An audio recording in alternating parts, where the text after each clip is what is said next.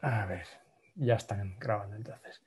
Entonces, para hoy tenemos cuatro piezas de contenido, no sé ni cómo llamarlo, tres son presentaciones y una no lo es. Ah, tres son cosas técnicas y una sobre temas de organización de, SNOC, que supongo que espero que haya más debate a lo mejor ahí. Y entonces vamos a empezar, que siempre habrá tiempo luego para hablar de otras cosas. Isabel, ¿quieres ir tú la primera? Sí, sin problema. Si me dejas compartir la pantalla, pues empezamos. Ah, pánico. ¿Me lo pides tú? ¿Cómo va esto? No, no, me lo tienes que aceptar tú. Lo tienes que habilitar tú. A mí me ha dicho que el anfitrión inhabilitó la función de compartir la pantalla de los participantes. Joder, pues no fue conscientemente. A ver, ¿cómo mola esto de directo? Me parece que en participantes lo puedes hacer, si no me equivoco. Como anfitrión. More. Allow. La madre que me parió con perdón de todo el mundo asistente.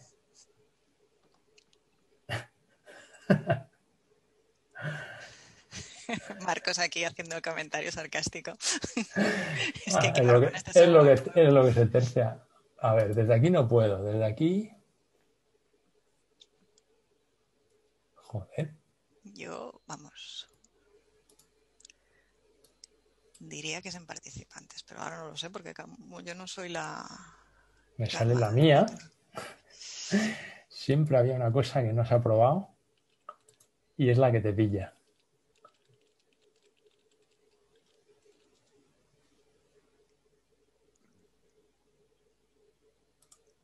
Venga.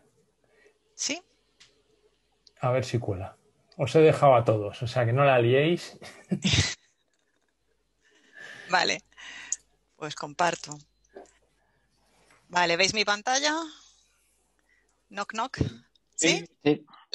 sí. Bueno, pues mm, el título que ponía era herramientas de monitorización de red, creo, pero mm, lo cambiamos por, o lo cambié por knock knock, qué herramientas tenemos por ahí, que sería algo más parecido a lo que es la típica broma de los knocks de knock knock. Mm, ¿Quién hay ahí? Pues algo así. Eh, aquí veis, yo soy María Isabel Gandía, trabajo en el CSUC y también estoy en la gestión del CANDIX y además, para más cosas, estoy como miembro del SIGNOX Steering Committee. Ahora os explico un poquito lo que es para que veáis de dónde viene esta presentación que voy a hacer. Primero, ¿qué hacemos en el CSUC? En el CSUC mm, puedo daros la respuesta oficial que es eh, mejorar la eficiencia y la eficacia del sistema universitario y la mm, extraoficial es que hacemos de todo para las universidades. ¿vale? Hacemos desde lo que hacía el CESCA, que era supercomputación y red, a lo que hacía el consorcio de bibliotecas, que era gestionar el tema de las bibliotecas, de los libros, Ahora estamos además, pues compramos gas, compramos energía, compramos impresoras para las universidades, lo que haga falta para las universidades. Pero yo que estoy en comunicaciones, lo que sigo haciendo es con dos sombreros, con dos patas, la anella científica, que es la red académica de Cataluña, y el CANNIX, que es el punto neutro de Internet en Cataluña. Desde la pata de la anella científica, o sea, desde la parte de investigación eh, y académica, es desde donde se origina este SIGNOC, ¿Qué es Signo? Bueno, pues Signo que es un grupo de interés especial en centros de operación de red. Eso es lo que quiere decir las siglas. Y es una iniciativa de la comunidad GEAN, que es la asociación que agrupa las redes nacionales de investigación a nivel europeo. El Signo es, bueno, lo veis aquí, tiene un poquito de todo, ¿no? Infraestructura de red, hablamos de taxonomía, hablamos de, de de mejores prácticas, intercambiamos información, un poco conocimiento, ideas de manera abierta sobre áreas específicas que afecten a los NOCs. O sea que es muy parecido a un NOC de un país, pero para las redes académicas y de investigación. Y de lo que os voy a hablar hoy en concreto es de la patita de, los, de las encuestas, de lo que hacemos en las encuestas. ¿Por qué empezó esto de las encuestas? Bueno, pues porque mm, nos dimos cuenta, nada más empezar el, el SIGNOC hace ya pues, más de 10 años, que un NOC usa muchísimas herramientas para gestionar distintos tipos de información y no es solamente una herramienta para hacerlo todo, sino que un centro de operación de red pues tiene que lidiar con un montón de funcionalidades y con un montón de herramientas distintas muchas veces. No está todo aquí integrado en una normalmente. Como que tenemos que gestionar distintos tipos de información, pues decidimos en su momento investigar qué herramientas eran las que se utilizaban en la comunidad académica. Y para eso hicimos la primera encuesta, que fue en 2011 y la publicamos en enero de 2012. Y allá preguntamos de todo, taxonomía de los NOx, estructura, recursos, herramientas, estándares utilizados, de todo. Sobre, sobre todo, intentando enfocarlo a 14 funciones, 14 funciones de los NOx. Hicimos 53 preguntas, dejamos un montón de casillas en blanco para que la gente nos pusiese su información y luego nos dimos cuenta de que igual eso de las casillas en blanco no era tan agradable para la gente para ir contestando si utilizo esta herramienta y al final pues en la segunda encuesta pusimos pues casillas con, con algunas respuestas predefinidas. Esta vez en la segunda encuesta los NOx ya habían evolucionado un poco más, estábamos en diciembre de 2015 y ya, además de las funcionalidades anteriores, que ahora las veréis, se añadió una más que era mitigación de ataques de negación de servicio distribuidos. Y además pusimos una puntuación en importancia y en calidad. Y luego estaba la tercera encuesta, que es la que se hizo y os tenía que haber explicado en el SNOC de mayo, porque lo suyo hubiese sido hacerla en el siguiente SNOC después de que se, publicasen los resultados que se publicaron en noviembre de 2019 pero con el tema del coronavirus, pues la cosa se fue quedando y bueno, pues os lo explico un año después, pero más o menos, pues para que tengáis una idea de lo que, de lo que pusimos. Se añadió una funcionalidad más a, los, a las responsabilidades del NOC, que sería la orquestación, automatización y virtualización. O sea que hasta 2019 realmente los NOCs no se sentían responsables de automatizar las cosas, pero ahora ya cada vez la cosa se está poniendo más en la automatización y ahora sí ya se sienten responsables de, de automatizar y orquestar y virtualizar. Esta vez fueron 35 preguntas, tuvimos 63 respuestas. Pensad que es de la comunidad de centros de investigación, o sea, es de, las redes de investigación mayoritariamente, aunque también pues, había algunas respuestas de redes de campus. Y también se, puntuaba en importancia y en, calidad. Eh, primero, la primera pregunta era de qué tipo de, organización estábamos hablando. Pues ya digo, había pues, redes de campus, y redes de NRENS, redes nacionales a nivel europeo normalmente. Y después pues había también eh, el 25, este son las de campus. O sea, los campus serían este 25 y las NRENS sería este 30 de aquí. ¿vale? La mayoría serían NRENS y esta sería la diferencia respecto a las encuestas de otras veces, que más o menos es parecido. En 2019 pues tenemos más de NRENS y más de campus y quizá un poco menos de, de otras, ¿no? Pero básicamente es, parecido el tipo de perfil de gente que contesta la encuesta. Y las funcionalidades son estas que veis aquí. La primera funcionalidad por la que los NOC se sienten responsables es la de monitorizar, lógicamente. Estás monitorizando la red. Después, pues se sienten responsables de la gestión de problemas, de llevar el ticketing de los problemas o de las incidencias que, que surgen, eh, también de reportar y de hacer estadísticas, hacer mm, backups y, gestión de configuración, gestionar el conocimiento, eh, gestionar la, performance, el comportamiento de la red. Eh, Después estaría la gestión de la seguridad, la gestión del inventario, después sería las herramientas de comunicación, coordinación y chat, el acceso fuera de banda, la gestión de recursos, la gestión del cambio, la mitigación de DDoS, la agregación de datos y la orquestación, automatización y virtualización. Esto es la, el azul sería de qué se sienten responsables, el rojo sería de que no se sienten responsables los NOx a los que hemos encuestado. Y el ranking respecto a 2016, pues mm, en los tres primeros puestos está igual. La monitorización, la gestión de problemas y el ticketing están exactamente igual que antes. Otros han cambiado ligeramente de puesto, la gente se siente menos, menos responsable del de performance management y más responsable de security management, probablemente por eso también lo del Y, etcétera. Y, bueno, y básicamente pues el, ranking, las subidas son las flechitas verdes, o sea, si, aquí hay un 1 con una flechita verde, quiere decir que ha subido una posición en el ranking respecto al año 2016, ¿vale? Estaba en el 5, ahora está en el 4. Si hay un 0 es que está igual y que si la flechita es para abajo es que ha bajado en este caso, por ejemplo, en el caso de aquí del Performance Management, pues tres posiciones y os sigo explicando cómo fue la encuesta.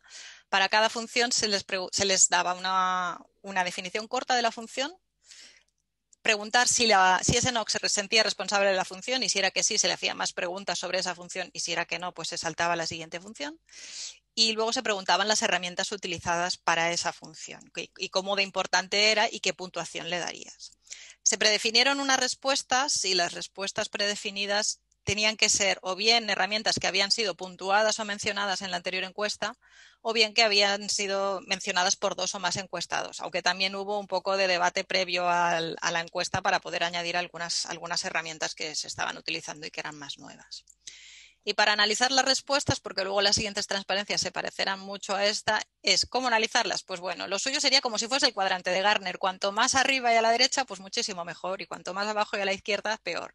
Pero en este caso, los dos ejes serían la importancia del eje X y la puntuación que les dieron los NOx en el eje Y. Con lo que si, por ejemplo, la herramienta 1 pues es una herramienta usada por muchos NOx, mmm, no, perdón, aquí lo he puesto Exacto, sí.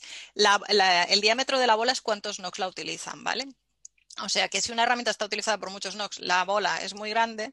Si no es muy importante, está muy hacia el cero del eje X, pero en este caso la, herramienta 1 estaría muy bien valorada.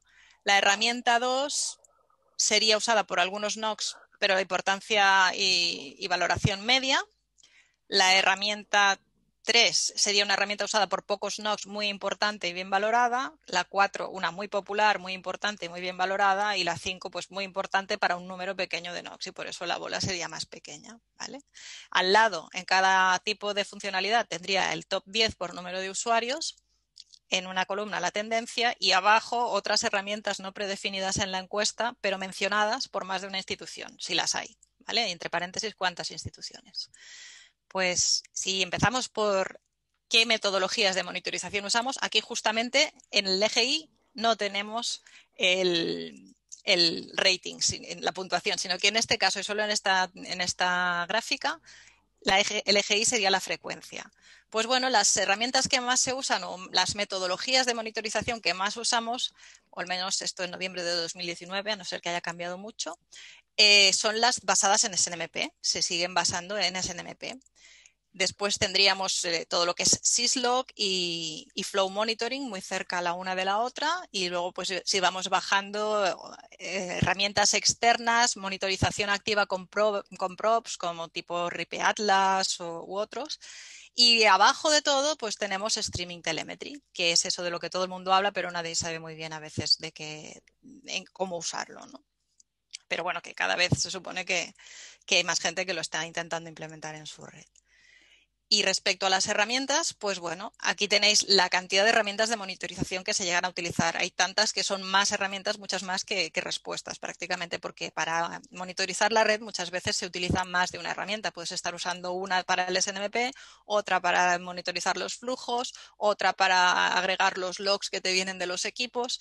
Y bueno, pues hay aquí herramientas como muy populares. La más popular de todas es Nagios eh, que sube respecto a lo que era la anterior número uno, que fue Cacti hace, hace cinco años. Pero las más utilizadas empieza siendo Cacti, o sea, Nagios es la más, es la más, y Cacti son las más utilizadas en, en general. Y luego estaría Weathermap y después vendría Ripe Atlas, Looking Glass y la, la pila Elk y, luego herramientas como Personar que son muy del mundo académico o Zabbix y NFSDAM. Pero las mejor valoradas justamente no son las que tienen relación con el SNMP Monitoring. En este caso la mejor valorada era Splunk.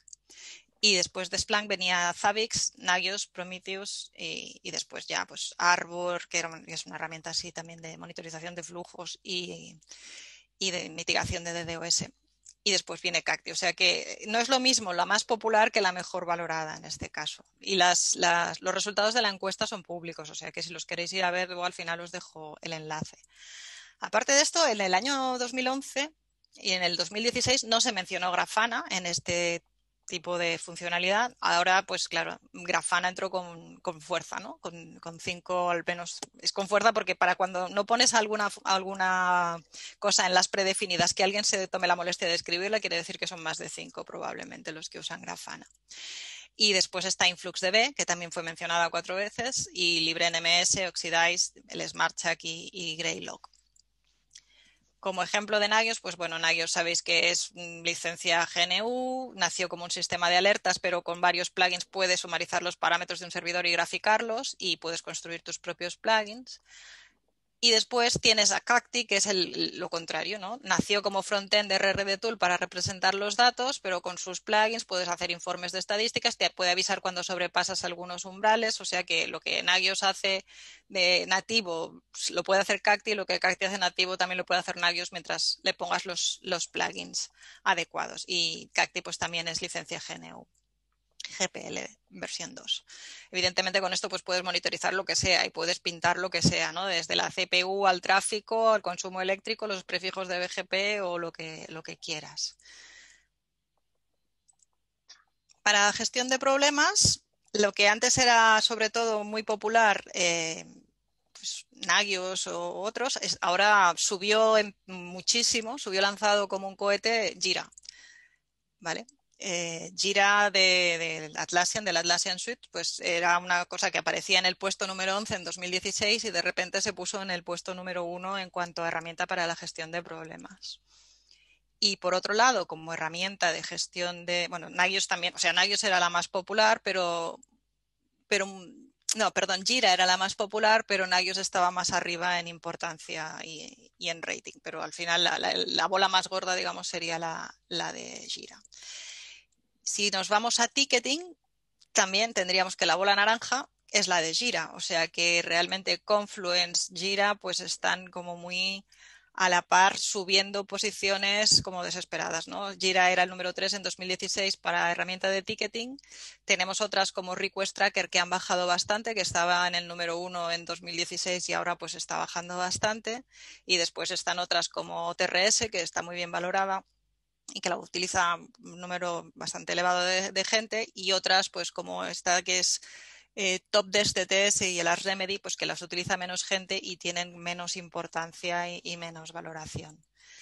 Si hablamos de Gira y de Confluence y de, la suite de Atlassian, pues bueno, Gira es un producto comercial. En este caso ya no es una licencia GNU, tienes que comprar la licencia, pero bueno, hay, hay cosas muy flexibles para las entidades académicas y sirve para el seguimiento de problemas e incidencias. Eh, permite seguir errores, usar metodologías ágiles y, va muy bien para gestión de proyectos. Y como curiosidad, pues el nombre viene de truncar Gojira, que sería Godzilla en japonés. O sea, que si queréis saber de dónde ha salido la palabra Jira, pues viene de Godzilla. ¿Y por qué de Godzilla? Bueno, pues porque viene de Buxila, que sería lo que la, la herramienta para gestionar los bugs, ¿no? Tenéis aquí la, web de, de, Gira si queréis ir y después para Confluence, que sería el otro de la suite de Atlassian, pues es el producto comercial también de Atlassian tipo wiki para poder eh, compartir información y bueno, para, tener una cosa muy flexible de cara a, tener la gestión de conocimiento. Eh, pero resulta que no sé si os habéis enterado, y eso si queréis lo hablamos después, de que Atlassian se va a las nubes. O sea que todo va a ser no on-premises, no puede ser ya on-premises, sino que se van a ir a las nubes.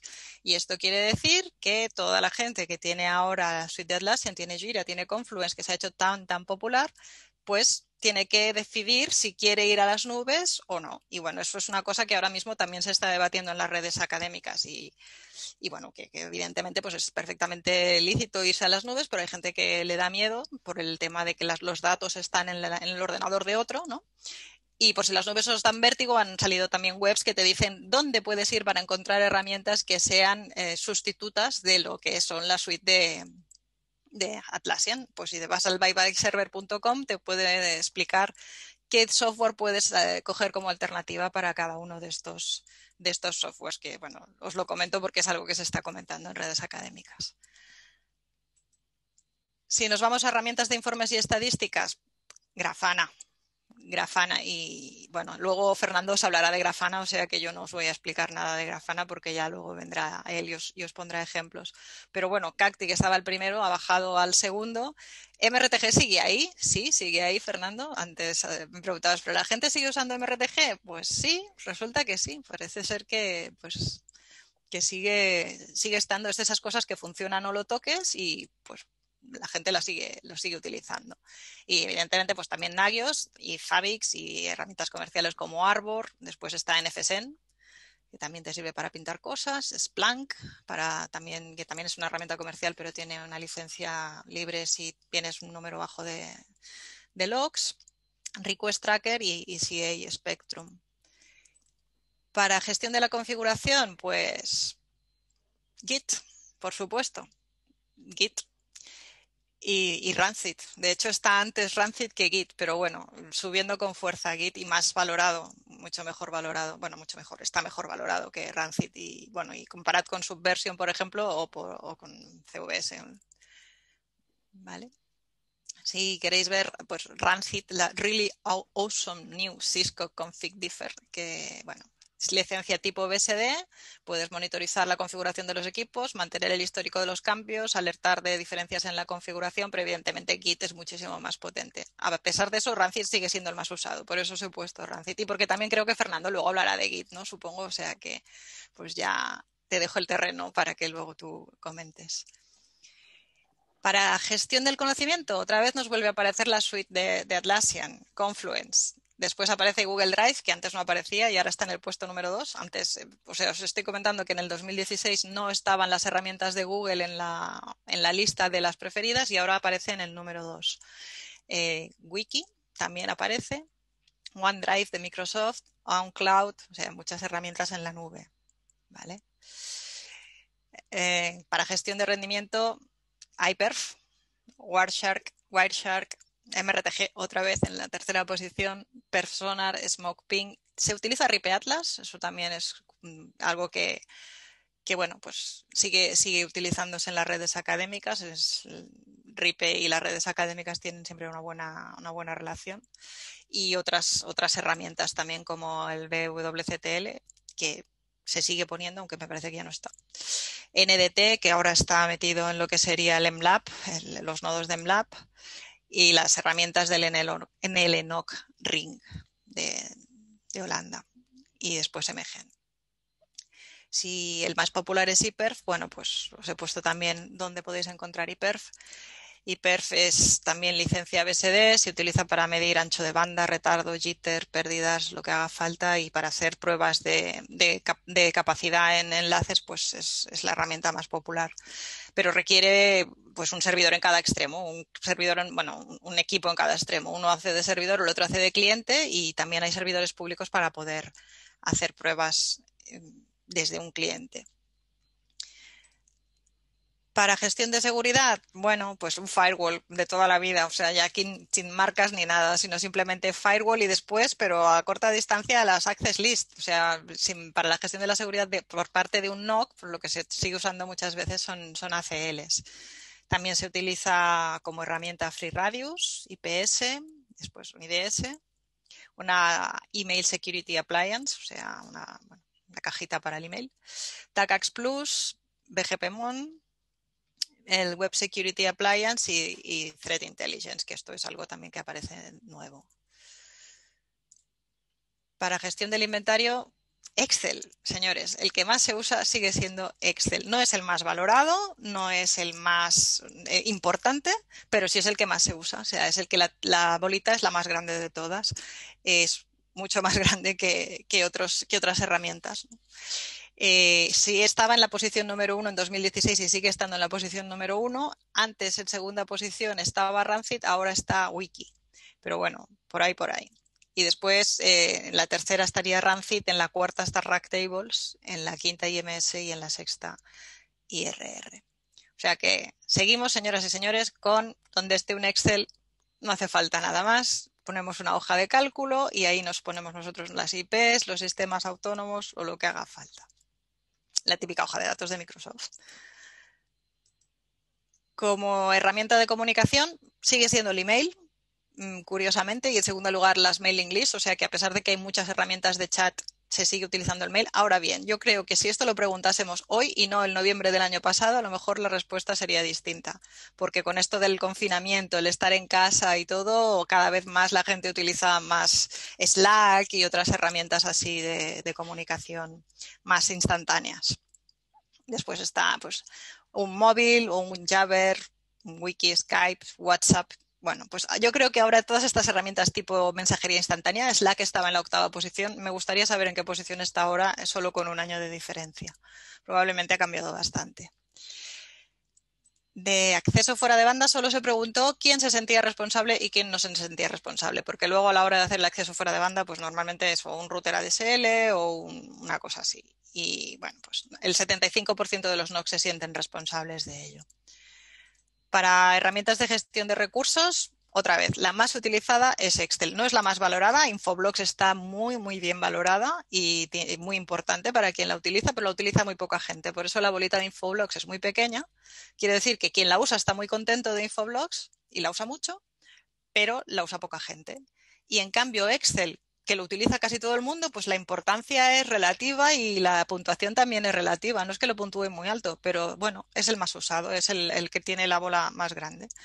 Visio es la segunda bola más grande y después vendría Wiki, Confluence, Racktables, etc.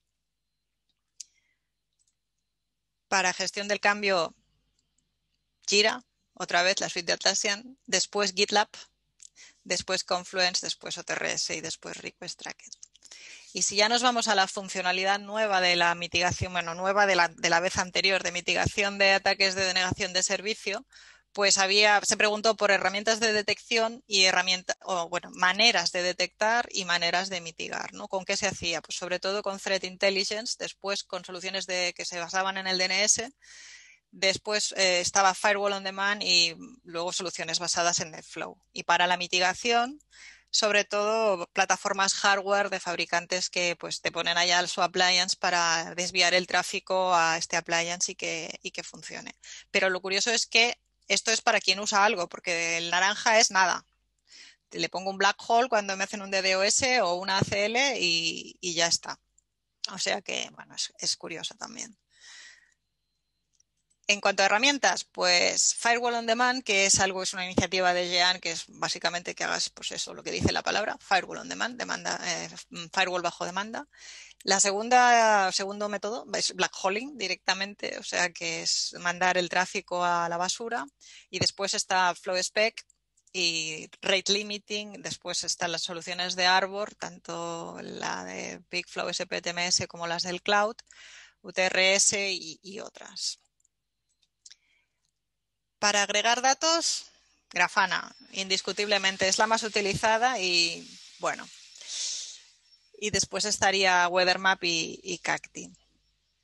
Y la que menos se sienten responsables de funcionalidad, los NOCs a nivel de redes académicas, es orquestación, automatización y virtualización, pero sí que empiezan a hacer algo en, provisioning y en network discovery y luego después está en routing configuration, pero sobre todo en el acceso, nada en el core. De herramientas, pues Ansible. Ansible es la herramienta por definición para estas cosas. Y ya, si queréis, voy acabando. en cuanto a estándares, adopción de estándares poco, solo un 25% ITIL. Y en cuanto a certificación y training, pues tiene la gente muy pocos ingenieros certificados, entre un 0 y un 10% la mayoría de veces.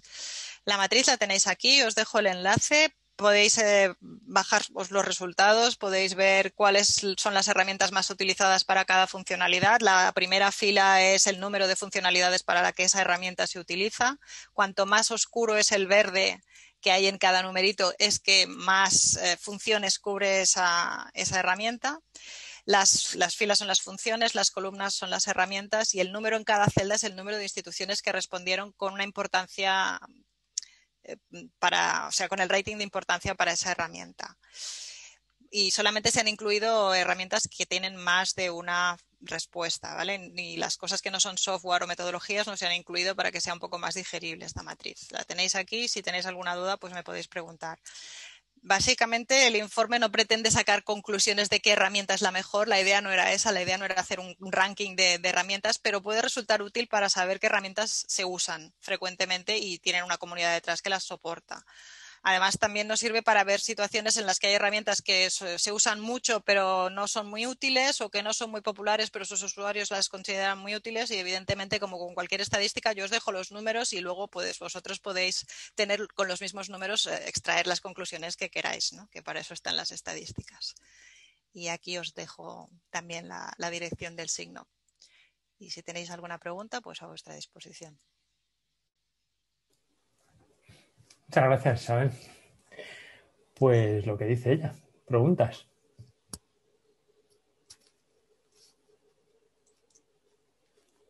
No.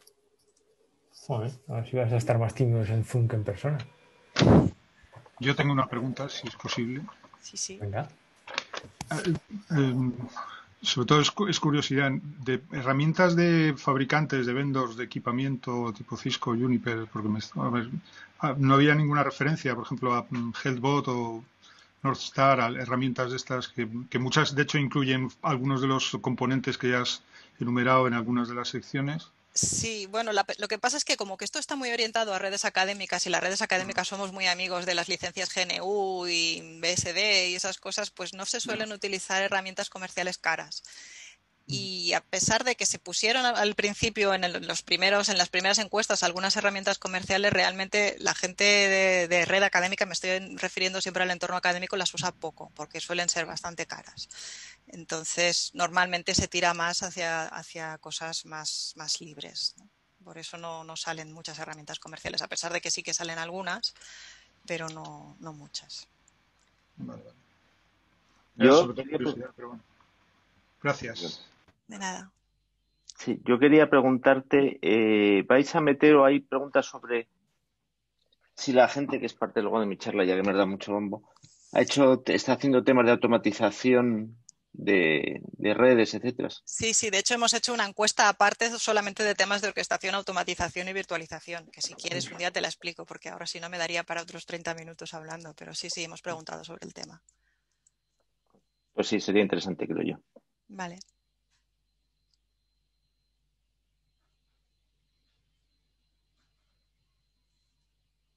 De hecho, estamos preparando incluso una especie de cursos para las redes académicas para que vayan, las que no se atreven a ir hacia la automatización, para que se atrevan y den el paso de empezar a automatizar cosas, para que pueda ser todo pues self-service, zero touch y todas estas cosas.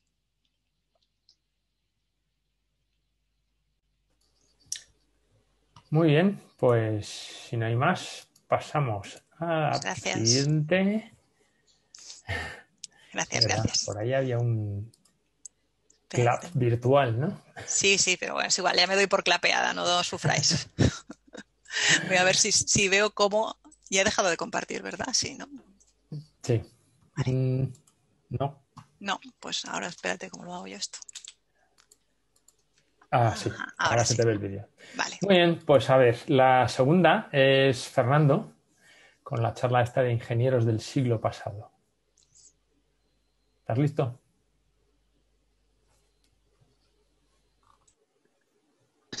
Estoy en ello, que entre desmutear, poner la presentación y yo qué sé. Perdonadme. A ver, compartir pantalla. Si es que eres del siglo pasado. Sí. ¿Dónde está esto? Ahí está. Aquí. Vale, compartir. Vale. No sé si se, si se ve algo o no se ve. Se ve, se ve. bueno, a ver, hola, bueno, la, presentación estatutaria. Me llamo Fernando García Fernández, muchos me conocéis de años A, de muchas aventuras. Ahora mismo trabajo en Telefónica Digital de España, que es lo que era 20 Technologies hace unos años y que no tiene nada que ver con la red social y que yo nunca estuve ahí y nunca subí fotos ni nada de esto ni tampoco soy responsable de los que tenéis fotos ahí que se borraron. Yo vi cómo se borraron, pero no fui yo. Dicho esto, lo que quería comentar es que hoy no es una presentación habitual de os enseño una técnica, os enseño una herramienta, os hago un training. Es más bien una charla de café que quizá en un esnogo normal hubiera contado estas cosas o las hubiera hablado en las cervezas de por la tarde o en la cena pero visto lo visto, pues lo cuento aquí. Espero que sí que podamos tomarnos un café o mejor unas cervezas alguna vez. Entonces, eh, seamos realistas. Eh, en primer lugar, hay que tener en cuenta que, a muchos de nosotros, bueno, a mí ya no pobrecito, pero bueno, cuando era más joven, cuando era mucho más joven, mi abuela y luego mi madre estaban siempre, es que mi hijo es que trabaja con cosas muy raras, está con cosas de la NASA, poco menos. Y nos seguimos creyendo muchas veces de que, sobre todo animados por nuestros familiares, no, nuestros hijos no, nuestros familiares mayores, quiero decir, que, que trabajamos en la NASA y trabajamos en, el más allá, en, el top de, la, top de la tecnología. Pero lo cierto Es que Internet ya no es la novedad de los frikis, lo siento. O sea, ahora mismo es una estructura económica que ha superado cualquier límite de la imaginación del. Joder, el que lo inventó este, ¿cómo se llama? El que está en Google. Bueno, sabéis quién digo. Vamos, de los tíos que parieron el TCP/IP y la web y todo esto. Y que ahora somos un, siempre son trabajadores de una estructura económica tampoco es esa tecnología puntera en la que te aseguraba un trabajo y que, vamos, las empresas se peleaban por ti. Ahora más de uno las pasa canutas por conseguir un trabajo decente que le permita pagar el alquiler. Y lo que es más triste es que si miramos para atrás, ayer se cumplieron 29 años de la muerte de Freddie Mercury, que muchos habréis, con, habréis bailado con Queen. 29 años, parece que fue hace nada. Pues Internet de forma comercial existe más o menos desde 1989, que es cuando surgió el primer ISP en Estados Unidos, es decir, 31 años. Y a pesar de 31 años, ¿cómo hemos cambiado? Que decía la canción. Pues veamos. Yo creo que no hemos cambiado mucho, ¿verdad? Vamos a verlo. Esto es como pienso yo que trabajábamos. ¿Y cómo configuramos en los años 90 un router Cisco? Así. ¿Cómo lo configuramos en 2020? Así. Busque usted las tres. Cierto, hay gente que no lo hace. Por favor, levantar la mano. No, no veo muchos.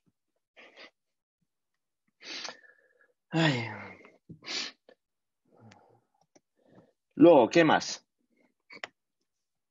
Ahora mismo, o sea, en aquella época nos sentábamos y empezamos a teclear y nos dejaban. Y si tirabas el router, bueno, pues se caía. Ahora no. Ahora las empresas lo hacen mucho mejor. Sobre todo cuando trabajas en una gran empresa, tienes que hacer unos procedimientos, tienes que escribir un documento largo, muy complicado, que es donde se documente todos los cambios que vas a hacer, pero escribiendo, pues voy a conectarme, voy a hacer no sé qué, voy a hacerlo por SSH, voy a hacer no sé qué.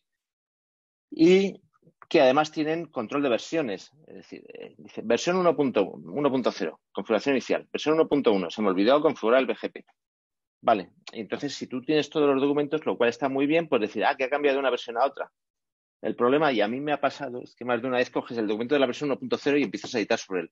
Cuando te das cuenta, te has machacado toda la que había en la versión 1.0 y ya no puedes comparar. Aparte de que comparar es complicado, es decir, tienes que leerte los dos documentos y pasártelo muy bien, ¿verdad? Y luego una vez que lo tienes, claro, ahí pones hasta tus configuraciones. ¿Y cómo aplicas esas configuraciones? Copio y pego. ¿Cierto? Y como la mayoría de las veces nos pasa, pues copias y pegas y resulta que, uy, esto no me funciona porque tenía que haber activado no sé qué o no sé cuántos. Y te acabas haciendo cambios in situ sobre la marcha, con lo cual el documento de tan bonito de control de cambios que has hecho no te vale para nada. Se queda desfasado. Eso sí, te has tirado un montón de horas haciendo esto. Esto es un documento que hice yo, de verdad, He intentado, espero que no se haya colado, se me haya colado nada, pero he intentado ocultar el, cliente. Y esto era para un maldito cambio de BGP, con perdón, entre rutas por un maldito cambio de BGP y eran 28 páginas, podéis ahí ver a la derecha. No. y luego, ¿qué podemos, qué más podemos decir aparte de los procedimientos? La monitorización. MRTG. Nuestro amigo MRTG y sus hijos Cacti. Cacti, ¿cómo se llamaba el otro? No me acuerdo, pues son sus hijos, como muchos sus navios, y como muchos sus sobrinos. Todos habréis visto esta gráfica alguna vez, qué bonita, ¿eh? Bueno, está, fijaros la fecha, 2020, 19 del 11. Eso significa que la presentación esta no la he hecho hace demasiado y que se sigue usando. Bueno, aquí podéis ver eh, que el Nagios, digo, MRTG, bueno, sus hijos y nietos y sobrinos nos permiten ver las gráficas de uso de una hora, de un día, de una semana, de un mes. No, esto sí. Eh, un poco desastroso, en mi humilde opinión. Pero es que MRTG, ¿cuánto, ¿de cuándo es MRTG? Pues mirad, MRTG se fundó, en, se creó en 1995, 25 añitos no solo es que sea viejo, que sea limitado, es que los que lo usáis, y estoy seguro que es más de uno, sabéis lo divertido que es provisionar un nuevo equipo y luego provisionar cada interfaz de ese equipo. Si estamos hablando de un switch de 400 puertos, esto es diversión asegurada. Y sus hijos son un poco mejores, pero tampoco es una maravilla. Pero lo más importante es que tenéis que hacerlo manualmente. Hay que provisionar cada equipo. Oye, hemos instalado un nuevo router. Va Pepito del NOC y lo tiene que añadir a mano. Y por último, las alarmas. Yo sinceramente pienso que el sistema de alarmas más popular y usado por los ISPs, por lo menos en España, yo creo que a nivel mundial, es uno que no ha salido en ninguna de las gráficas de María Isabel que levante las manos los que usen las llamadas de sus clientes por la noche como sistema de alarmas. Ya, ya veo. Es verdad, es decir, es, o sea, yo conozco gente que dice, no, ha llamado un cliente, coño, si se ha caído este router, o sea, bueno, perdón por el, el, abrupto, pero se ha caído este router, o se ha caído este interfaz, tenemos un problema. Y la mitad de las veces son los clientes los que te lo dicen. Esto no puede ser. O sea, sinceramente, no puede ser. Y esta es la situación en la que vivimos o la que vive la mayoría de los operadores de red grandes, medianos, perdón, pequeños, medianos y muchos grandes en España. Y fuera de España también, pero bueno, como es NOGES España Network Operator Group, pues me centro en España. Y se me olvidan muchos temas, como el famoso del, del que ha comentado María Isabel. Es decir, eh, y que son temas que no os creáis, si, los, si vosotros lo tenéis así, no os penséis diciendo, joder, me están sacando los colores. Que, igual que tú hay otros 90 y hay empresas muy grandes. Eh, cosas de estas las he visto yo en empresas pequeñas, pero las he visto también en empresas muy grandes. Y gente que tiene scripts en su, en su carpeta particular y son los que ejecutan para provisionar para cosas de estas. Es decir, estamos a un nivel penoso. Y espero que entendáis por qué ya hablo de ingeniero del siglo pasado. Entonces, yo que he entrado en un departamento de telefónica o en una división o en una empresa o como lo queráis llamar, que no es una telefónica estándar al uso, sino que es un, un departamento muy innovador, pues he descubierto que hay cosas que se llaman, por ejemplo, una cosa que se llama SRE, Site Reliability Engineering, que es de lo que os vengo a contar un poco, que es lo que quiero que entendáis que que lo me ha hecho a mí cambiar la... Sinceramente, yo entré allí con una mentalidad y, y tengo otra. Es lo que me ha hecho cambiar la forma de pensar y lo que, pienso que todos deberíamos cambiar y actuar. No voy a daros una charla en profundidad de lo que es SRE ni cómo se aplica. Eh, si queréis saber mucho más, los ingenieros de Google han escrito tres libros que los podéis encontrar en, O'Reilly y merece la pena si tenéis tiempo, que cuentan toda la filosofía de SRE muy aplicado a sistemas, a programación y a redes. Porque es muy triste, pero a nivel de red de sistemas, nuestros compañeros de sistemas, los que llevan los servidores Linux y las plataformas y los desarrolladores, en todo esto están mucho más avanzados que nosotros. Ellos sí que son ingenieros de este siglo, no del siglo pasado. Por lo menos los que conozco yo. Entonces, ¿ese red sobre qué versa? Pues la, frase, diríamos, que más y que la, la en una charla define lo que es SRE es que la esperanza no es una estrategia. O sea, tenemos que basarnos en algo mejor. También se puede traducir como me gusta dormir bien por las noches y que no me despierten. O sea, tenemos que tener todo lo bastante bien diseñado como para poder dormir por la noche. Entonces, sobre todo se trata de automatización. ¿Qué vamos a automatizar? Pues vamos a automatizar la configuración de nuestros equipos, pero de verdad, no tener que ir a configurar, copiar y pegar de un documento y que me falla esto, que no lo he probado, que lo otro, que no me di cuenta que esta versión, que que, uy, se me olvidó poner el servidor NTP, que todos los, todos los equipos de este data center usan un servidor NTP y yo he copiado la plantilla de otro. Eso no puede ser, sinceramente. Es como he trabajado yo muchos años y creo que mucha gente, pero no puede ser. La monitorización, o sea, evitar los problemas que os he comentado antes, tanto de complejidad de uso como de tener que hacerlo todo a mano, porque al final la gente con tal dice, uy, espera, que luego lo meto el router, no lo metes y tienes el router del cliente sin monitorizar y sin enterarte de, si consume mucho o pues consume poco. Y las alarmas, hay que intentar tener unas alarmas que sean casi tan rápidas como nuestros clientes o nuestros usuarios. Si logramos que sean casi tan rápidas, ya hemos avanzado mucho. Vamos, tan rápidas como ellos es imposible. Yo hace muchos, muchos, muchos años trabajé para un cablero, ¿sabéis? Estos que ponen las, los, que ponían la televisión por cable y todo esto. Y los tíos decían que cuando les fallaban los canales de televisión, lo sabían porque había un usuario que se pasaba toda la noche viendo la televisión y que les llamaba antes de que ellos detectaran que se les había caído un canal. O sea, era increíble. Pues eso es, que esto es lo que tenemos que conseguir. Entonces, os voy a poner, ya os he dicho que esto no es una presentación técnica al uso. Os voy a poner ejemplos de lo que usamos nosotros, que puede ser en, en mi empresa. Puede ser lo mejor o puede no ser lo mejor, pero por lo menos os va a alimentar, os va a dar ganas de, de enteraros. Igual que la charla de María Isabel, yo lo que he sacado, aparte de todas las estadísticas que pueden estar mejor peor, mejor, peor o mejor, es un montón de, herramientas que voy a ver, de que no conocía y que voy a ver de qué van, que igual alguna de esas me vale. Pues aquí quiero hacer lo mismo, que os valga esto un poco para abriros el apetito. En configuración, pues mirad, ya sabemos que los documentos largos no se los nadie están desfasados. Por eso vamos a aplicar un mantra de los programadores, que el código es la documentación. Para muchos programadores esto significa que yo no documento mi código, pero los que lo hacen más o menos bien significa que voy a hacer un código lo suficientemente bueno como para el que lo lea sepa qué hace, sin, eh, incluso con comentarios embebidos si hace falta, pero para que el que lo lea sepa qué hace sin necesidad de un documento aparte. Entonces, también es importante en la configuración que eh, el código, o sea, poder tener código común para grupos, por ejemplo, lo que os he dicho antes, el servidor NTP, si es igual para todos tus equipos de, un data center, no lo escribas 20 veces. Escribe una sola vez y escribe un código de forma que ese código sea reutilizable, lo puedes aplicar igual para todos. Y sea automático es aplicarlo, no copiar y pegar. No vamos a caer. O sea, el copiar y pegar es un virus, con perdón. Es, y es uno de los peores virus que hay, porque te mete errores sin que te des cuenta.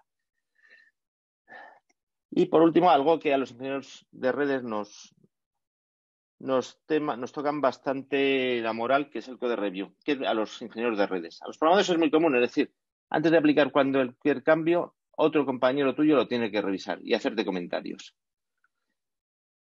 Y de esta forma, este code review tiene que ser automático. No es un documento, es de verdad leer el código que ha escrito el otro, la configuración que ha escrito el otro. Y de esta forma se descubren un montón de errores. O sea, te toca mucho la ley de que llegue el listillo de al lado y te diga, te has equivocado aquí, aquí, aquí. Pero te toca mucho más la moral que a las 4 de la noche se te caiga el sistema porque al aplicar la configuración se te ha caído y lo has puesto mal. Entonces, esto hay que tragarse un poco el autoestima. Perdón, lo diré. Hay que tragarse la autoestima, pero es muy buena. Es nada de yo me lo hizo, yo me lo como. Los demás pueden ver tu código y comentarlo. Por ejemplo, así. Perdón. No, así no, es que se me ha faltado. Y lo último, la trazabilidad. Que ahora veremos para qué sirve. Esto es trazabilidad, es decir, aquí yo tengo todos los cambios que se han hecho en una rama con un comentario que pones. Eh, por ejemplo, la, la sexta, la quinta línea por arriba, pues esto es mío, por cierto. Añadí que se me había olvidado un senders hop. El anterior soporte para el entorno de pre, etcétera, etcétera. Y son todas las ramas. ¿Vale? Y dices, bueno, vale, yo has hecho todos estos cambios, pero ¿para qué me vale? Pues me vale para que yo pueda pedirle la diferencia entre dos ramas. Puedes decirme, oye, entre esta rama y esta rama, ¿qué ha cambiado? Pues mira, que en esta interfaz, que podemos, se puede sacar más amplio, cambiaste la VLAN 314 por la 302. Aquí cambiaste NSHOP, que te había equivocado, por IP NSHOP. Aquí cambiaste esta IP por otra. Te puede dar todos los cambios que has habido en cualquier momento de la vida del código. Esto es, por cierto, esto utiliza la herramienta que también ha comentado María Isabel, Git. ¿Vale? Entonces, todo nuestro código eh, reside en un repositorio Git privado, Git es conocido porque tienes ahí hay mucho open source, pero también puedes contratar, y los hay incluso gratuitos, repositorios de Git privados para ti y para tu equipo. Entonces, todo esto evidentemente está en un repositorio Git privado. Pero es importante que tengamos eh, todo esto automatizado y que, es, y que venga, vale, que Git te permite hacer comentarios de código. Por ejemplo, este es el código de un compañero mío que lo había hecho, pasó la revisión y yo le digo, perdona, la descripción de esta está duplicada. Si os fijáis, está justo en el port channel anterior, en el 1634 tiene la misma descripción. Es decir, aquí hay algo que está mal. ¿De acuerdo?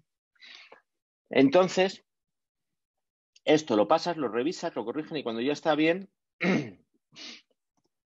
ejecutar lo que se llama, nosotros ejecutamos un dry run, es decir, aplícaselo al router y que, o el switch en este caso, y que sin aplicarlo, pasáselo, que te diga qué cambios vas a hacer. Esto se puede, se puede hacer en la mayoría de las plataformas, aunque no lo creáis. Esto es lo que yo llamo la prueba del algodón. Y esta es una salida en unos Nexus, que aquí me dice los cambios que se en el Nexus 01, eh, que es el primero, no va a haber ningún cambio. Fijaros que pone change false, eh, lo pone por aquí. Y en el, Nexus 02 voy a hacer un cambio. Voy a poner la interfaz este no shutdown y le voy a cambiar la descripción. Fijaros que la descripción, si volvemos un poquito para atrás, aquí la descripción simplemente es el nombre de la máquina y el puerto de la máquina, que es lo que solemos usar. usar. Pero aquí fijaros que la descripción es un poco más compleja, porque esta descripción la generamos automáticamente con nuestra herramienta de gestión de configuraciones. Y ya veremos por qué, lo vamos a ver en breve. Fijaros que es una serie de campos separados por almohadillas, el formato que he elegido yo, cada uno puede elegir el formato que quiera, pero que aquí tiene un campo de estado, otro de tipo y otro de la UR definición o descripción. Sí, no me preguntes por qué eso no. Que, bueno, era uso en realidad. ¿De acuerdo? Esto es automático, es decir, yo le escribo mi código, lo revisa el otro, le, le doy un botón, me lo aplica y me dice automáticamente todos los cambios que va a hacer. Y si me gusta, entonces le digo, aplícalo. Sí. Es más, esto le puedo decir a un compañero, revísalo. Y si el otro con dos ojos más, que dos ojos ven más que cuatro, perdón, no, cuatro ojos ven más que dos. Si el otro compañero dice está bien, entonces le das al botón de aplicar. Vale. Monitorización. Pues mira, yo utilizo Prometheus, Prometheus Grafana. En realidad, los que no sepáis, son dos herramientas complementarias. Prometheus es la herramienta de monitorización como tal. Yo creo que en la, presentación de, María Isabel había cliente o usuario, eh, contestadores de su encuesta que hablaban de Prometheus unos y otros de Grafana otros y en realidad son complementarios. Prometheus es la que hace las medidas de verdad y Grafana el que las visualiza. Grafana es el que las pone bonitas. ¿Y qué tiene bueno con respecto a MRTG? Bueno, pues tiene, aparte de que pone, son mucho más bonitas, primero que las gráficas te la auto, autogenera. Tú le das la IP del equipo. Bueno, tienes que tener una configuración inicial que no es sencilla, pero una vez que las has hecho, le dices, bueno, tengo ya generado eh, la estructura para la router Cisco, la estructura para routers Juniper, la estructura para Nexus, la estructura para, eh, yo qué sé, cualquiera de estos, eh, Brocade o...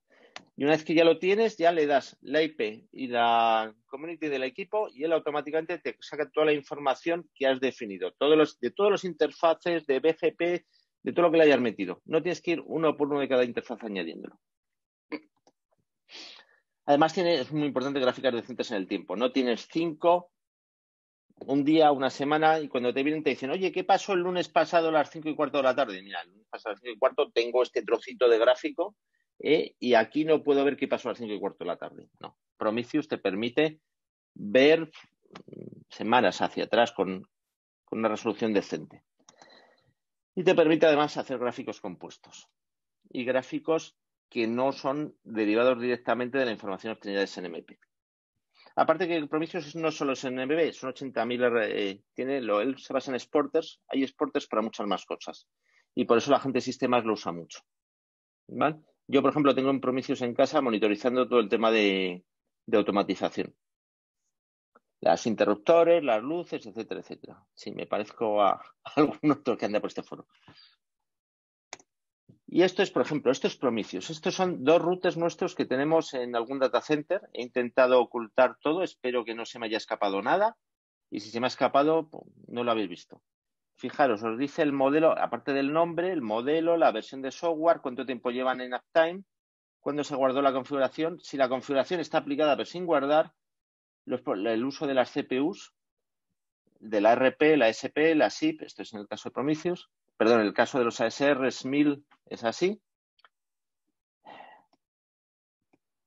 Perdón. Luego me, pueden dar de cada, yo aquí le hemos pedido que de cada interfaz nos dé eh, el número de paquetes, que es lo que hay a la izquierda, el, el ancho de banda, y fijaros que aquí hay seleccionado un trocito en gris. Si tú coges, arrastras este trocito en gris, que puede ser de la semana pasada, del mes pasado, lo que sea, coge y te amplía esa zona y te la muestra con detalle, lo cual es un detallazo. ¿Vale? Puedes incluso sumar el tráfico de varias interfaces. Por ejemplo, tengo salidas de Internet por tres proveedores. Pues puede decir que te dé un agregado de los tres.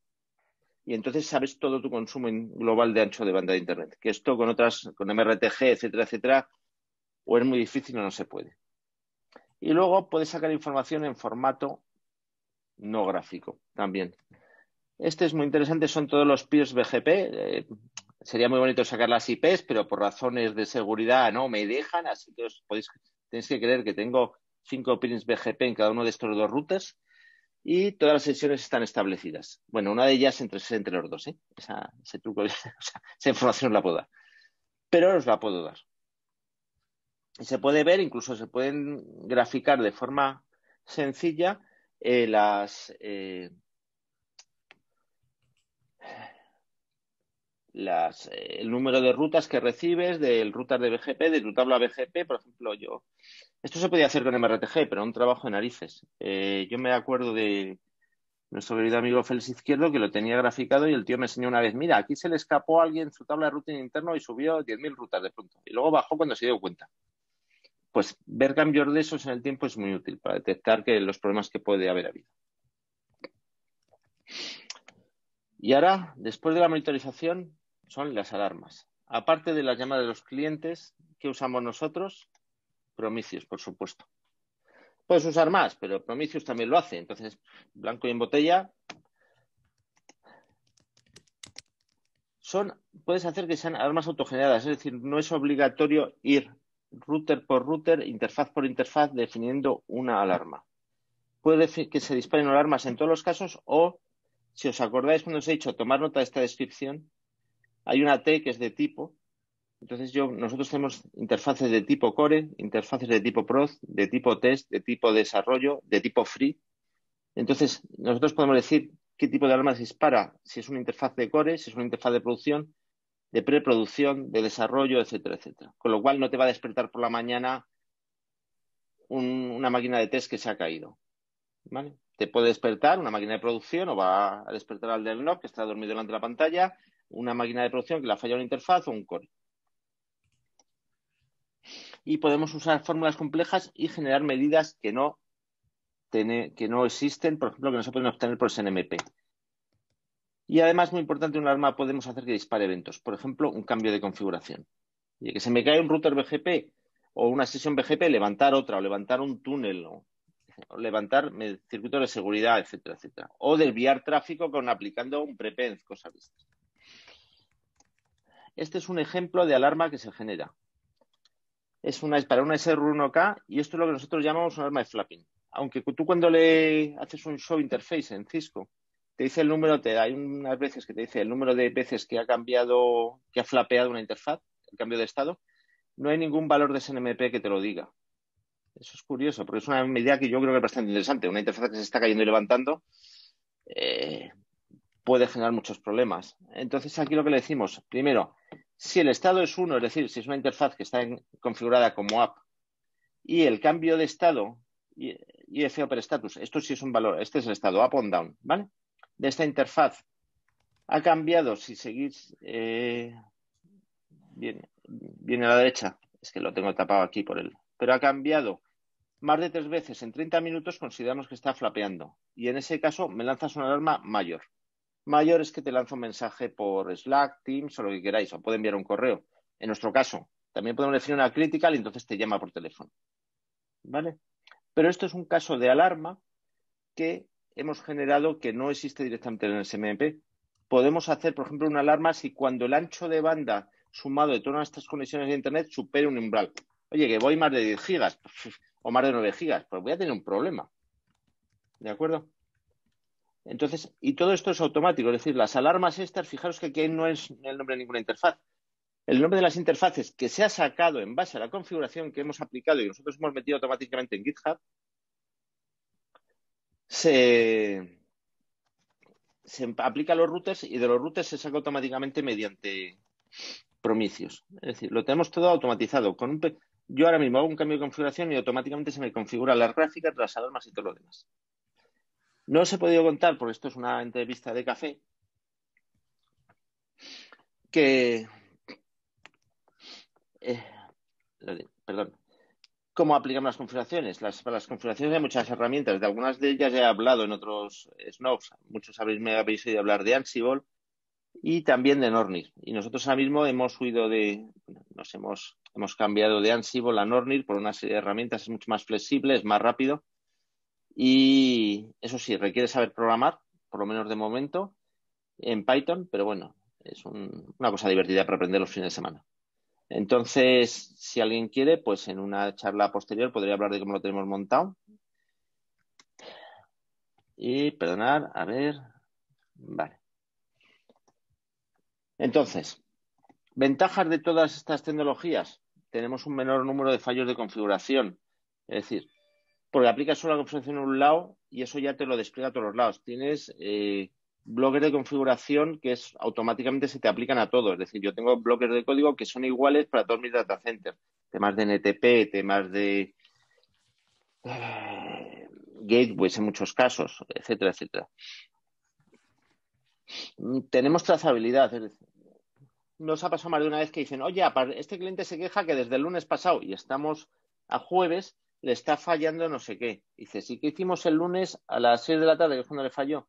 Pues mira, con las herramientas que os he enseñado podéis ver qué cambio se hizo el lunes a las 6. Y entonces decir, pues aquí ha habido un problema. Y eso lo he hecho yo. Se automatiza la generación de monitorizaciones y de alarmas. No se os olvidará tener armada una interfaz o tener graficada una interfaz. Pero todo esto tiene una serie de retos.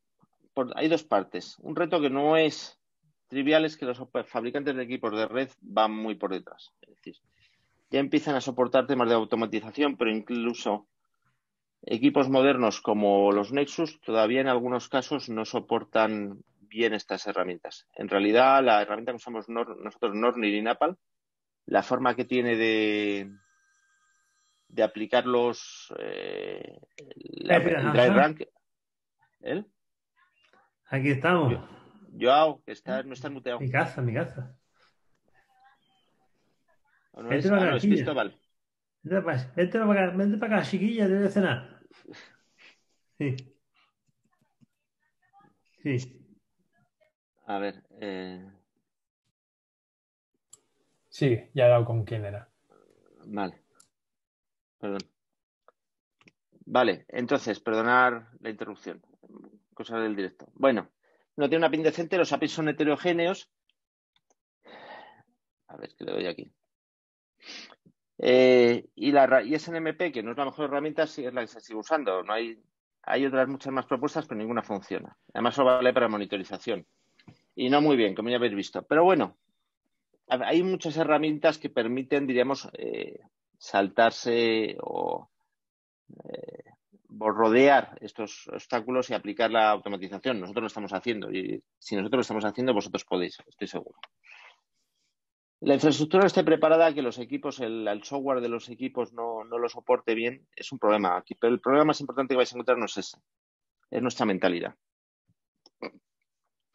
Necesitamos tiempo y recursos para poner en marcha todo esto. Mucho tiempo y muchos recursos. No tanto en dinero, sino en máquinas, en aprendizaje.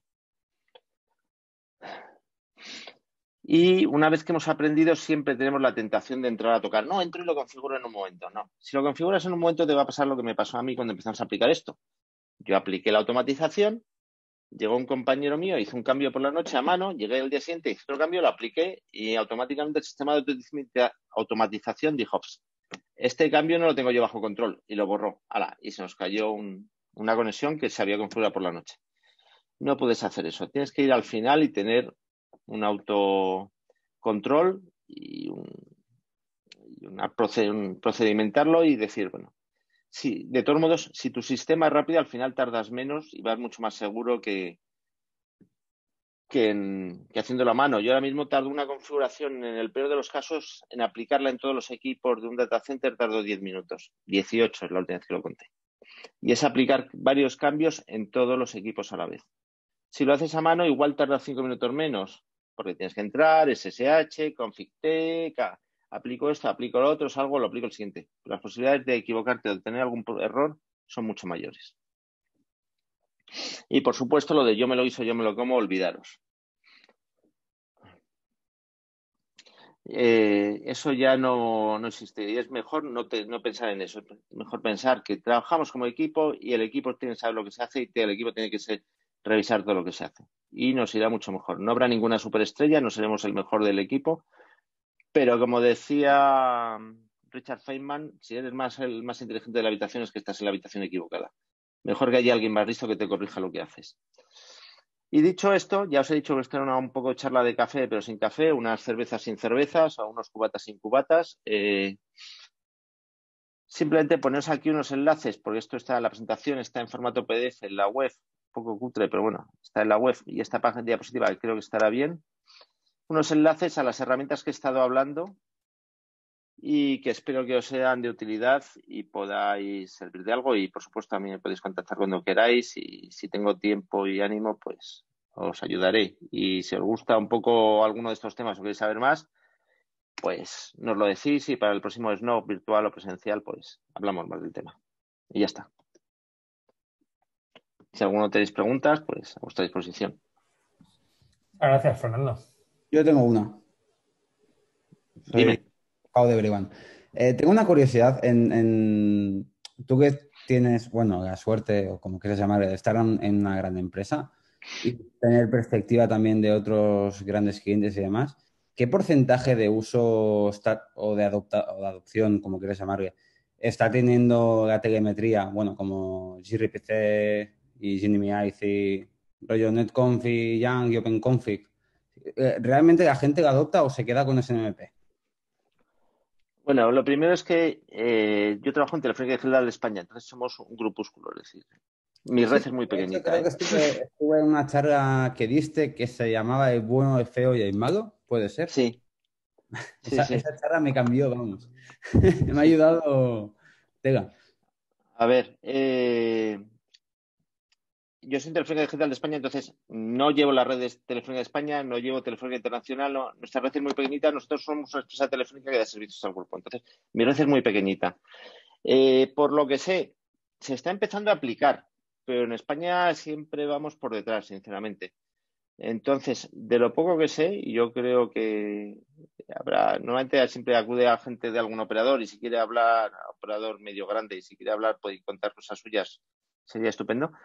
Eh, se está empezando a aplicar, pero todavía creo que vamos muy por atrás. Sobre todo porque hay un problema aquí también, en mi punto de vista, que las máquinas son caras, entonces los routers no te lo van a cambiar todas las semanas. Y routers que soporten muchas cosas de estas tienen que ser relativamente modernos. Depende, también me he dado cuenta que eso depende del vendor, porque, por ejemplo, nosotros eh, funcionamos con Nokia y tenemos routers, o sea, sí que tenemos SRs nuevos de, la serie 9, de la, de, 1, pero tenemos routers que a lo mejor tienen 5 o 6 años y, corren con, o sea, dan soporte para todos estos, o sea, para tanto para GNMI en, proto, en protobuffers, en, o sea, tienen soporte para todo.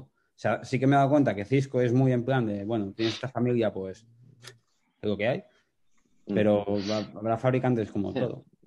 Sí, pero es el vendor y al final una red grande tienes un poco de equipo de todo y ojo, que yo conozco clientes eh, de, de Telefónica de España no te puedo hablar porque no lo sé, pero yo conozco gente que todavía tiene 6.500 por ahí y 7.200 instalados, ¿eh? Máquinas de esas gente que está, Y ese de gente que lo está desplegando de, en 2020 sigue, o sea, despliegue nuevo, sigue montando eso. Pero por eso, hombre, la verdad es que son piedras, pero son piedras que como la apagas dices, igual no se levanta, ¿no? Pero bueno, son máquinas que no te dan este soporte y al final la ventaja de usar Prometheus y estas herramientas es que te siguen soportando esas máquinas. O sea, que es todo un avance. Es un agnóstico a lo que tengas al final. Sí, sí. Entonces, bueno, pues si queréis algún día os doy charlas sobre cómo esto, como lo tenemos montado con Nornil, con... Pero bueno, pues... Genial. ¿Alguna pregunta más? Hola, no sé si puedo preguntar o tengo que levantar la mano o... Pues no sé. Si no hay nadie más. hablando, dale. vale, vale, colisión. Ya, ya, estás preguntando. Es que no encontraba el, botón este de la mano. Ah, Fernando, esto que hablas de. Es para controlar routers directamente, ¿no? Porque he visto productos, uh, estos tipos de one sobre todo, que el, control sí que te ofrece una API muy rica, que hay muchas cosas de, desde cambiar configuraciones directamente a alarmas, monitoring y mil una cosas. Pero entiendo que quieres ir a más bajo nivel, ¿no? No, no desde el control, sino al router directamente. A ver, sí, esto, a ver, este es el primer paso. O sea, yo tengo, como diría, parafraseando a Martin Luther King, con perdón, con todo el respeto y la mm. distancia, yo tengo un sueño Entonces, mi sueño es poder decir, oye, que tengo un cliente aquí con un router. Eh, es que cuando os estoy enseñando en mi mesa, claro, no me veis. Tengo aquí un cliente con un router y quiero conectarle a esta infraestructura. Pues una VPN. Y que tu herramienta de automatización diga, y te configure todo. El primer paso es que tu herramienta de configuración pueda generarte la configuración de forma automática para todos los equipos intermedios. Y esa es la fase en la que estoy ahora. A la fase 2 no sé cuándo llegaré o si llegaré, ¿no? pero esa es la primera fase. Eh, las soluciones SD-WAN, como dices tú, son muy ricas, son súper potentes, pero son eh, suelen ser, todas las que conozco, casi todas, de, ligadas a un fabricante. Prometheus ah, es multiplataforma.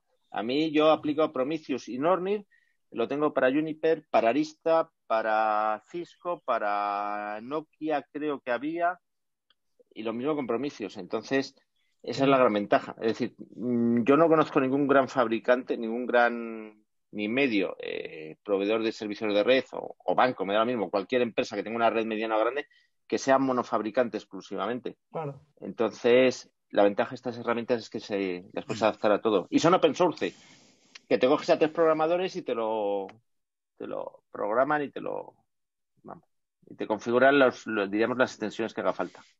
Bueno, igual decir tres programadores es un poco eh, optimista, pero bueno, me habéis entendido. Vale, gracias. Nada. Eh, hola Fernando, soy, soy Evarist Pérez, soy, soy de Nokia, trabajo en Nokia y lo que habláis de los controllers, em, sé de, proyectos en los que sí que se ha, intentado que el controller de, un vendor sea multi, es decir, que pueda manejar eh, por la estandarización de, las interfaces de NetConf y demás, que pueda manejar otros tipos de vendors y que ese posible problema de no de ser un silo de que tu controller solo controla tus equipos de tu vendor, mm, digamos, se está intentando eh, mover. Evidentemente el tema de las licencias, ¿no? Y en ese caso. Pero vaya, que sí que hay muchos movimientos en ese sentido y hay algunas redes con, diferentes vendors y es verdad, todos los service providers eh, tienen varios vendors y van hacia soluciones de ese tipo. Y por parte, por ejemplo, de Nokia, sé que el, controller, el NSP, pues eh, tiene, tiene control de algunos otros equipos en ese sentido.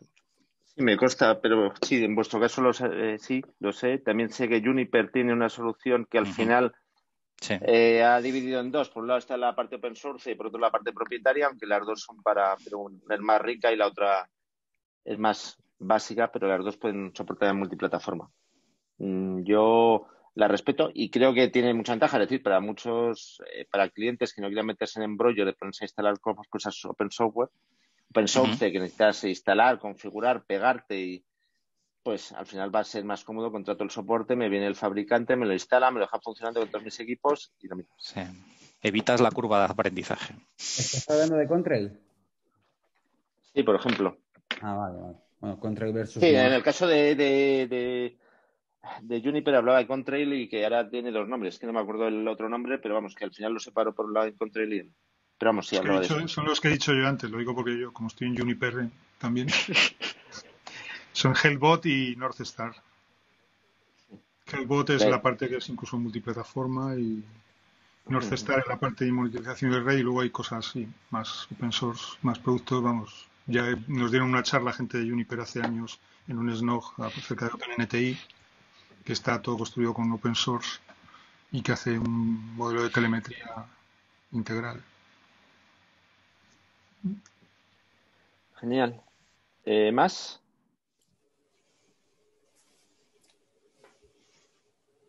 Pues nada, gracias, Fernando. Nada, a vosotros por escucharme, por aguantarme. Pues uh, la siguiente presentación es, precisamente Garist, que acaba de hacer la pregunta. Te doy paso. Hola a todos, eh, soy Evarist Pérez, eh, trabajo en, en, Nokia como Customer Engineering for, por un producto de monitorización de red, Tipfield. Seguramente os has oído. Y básicamente voy a hacer una presentación explicando qué, cambios vemos o qué tendencias vemos en el tráfico en la, era de, Netflix que nos domina a todos. Voy a compartir.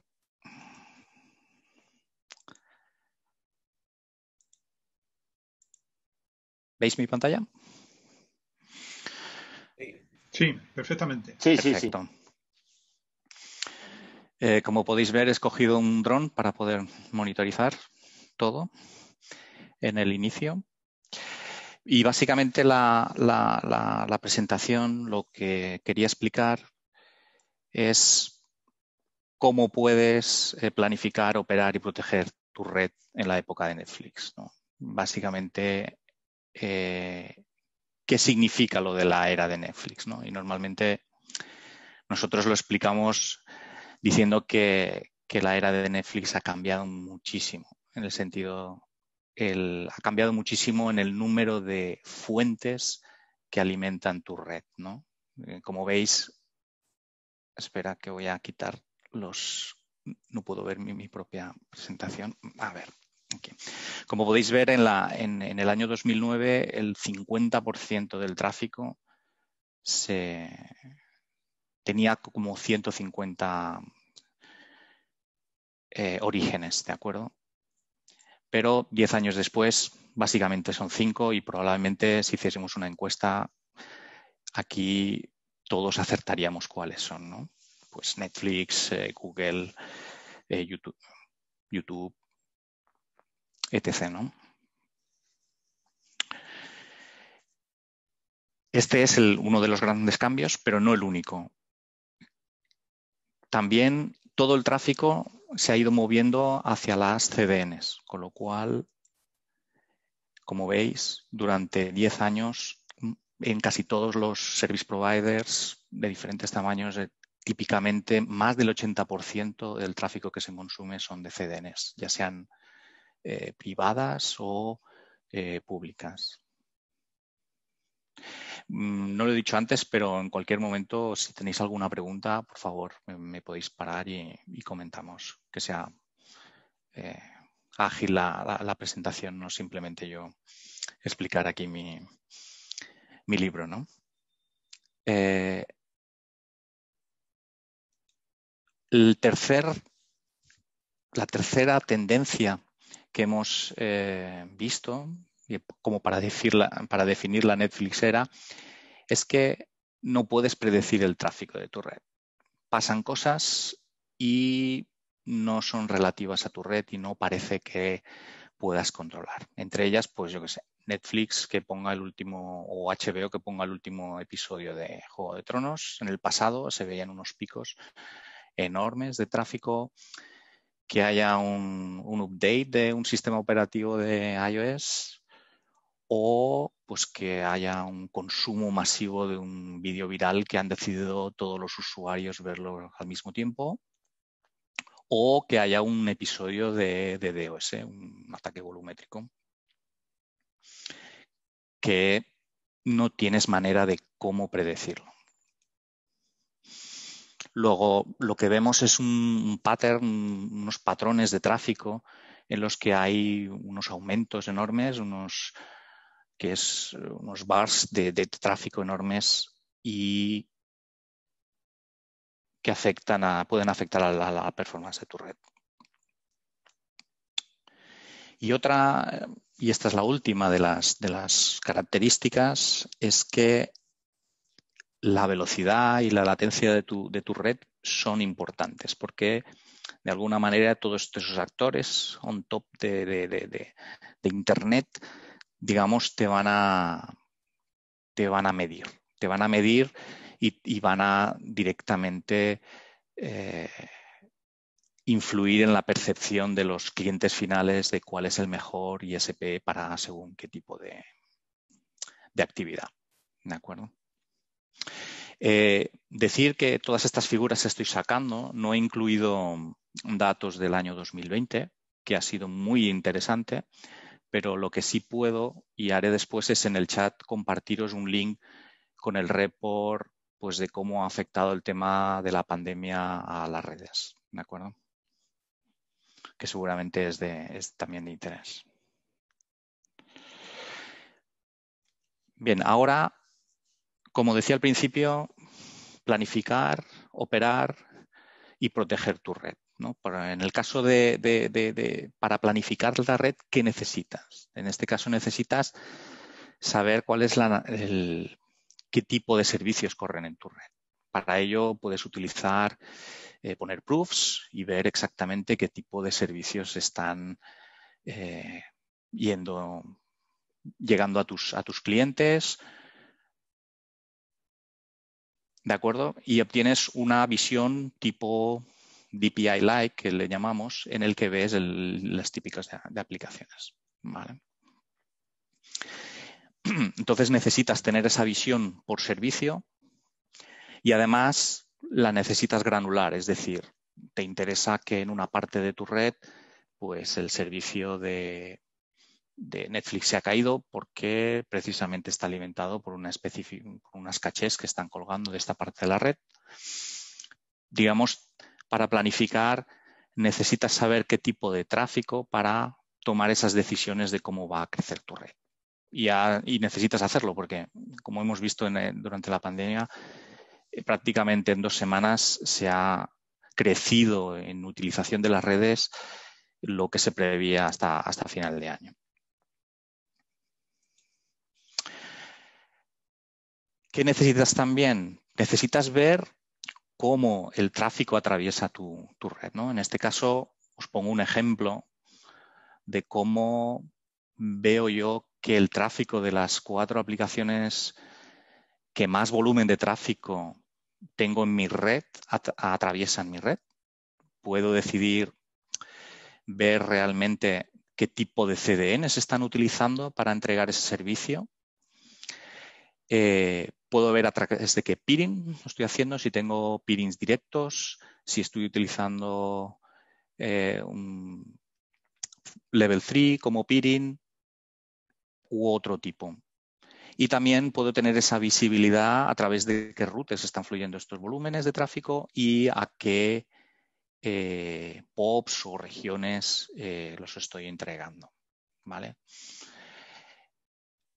Importante saber, como por ejemplo os indicaría que, en el caso de, de BAF.com veo que parte de mi tráfico, igual tengo un peer indirecto con él y parte de mi tráfico aún así se me está yendo a través de la CDN pública eh, de Akamai, con lo cual a lo mejor este peer indirecto pues eh, mm, me sale o es, es gratis, el que lo tengo con, este otro elemento y de esta manera tengo una visión de por dónde el tráfico y puedo planificar a nivel de eh, contratos de peerings o de instalación de, local cachés para todo el tráfico que estoy ingestando en la, en la red.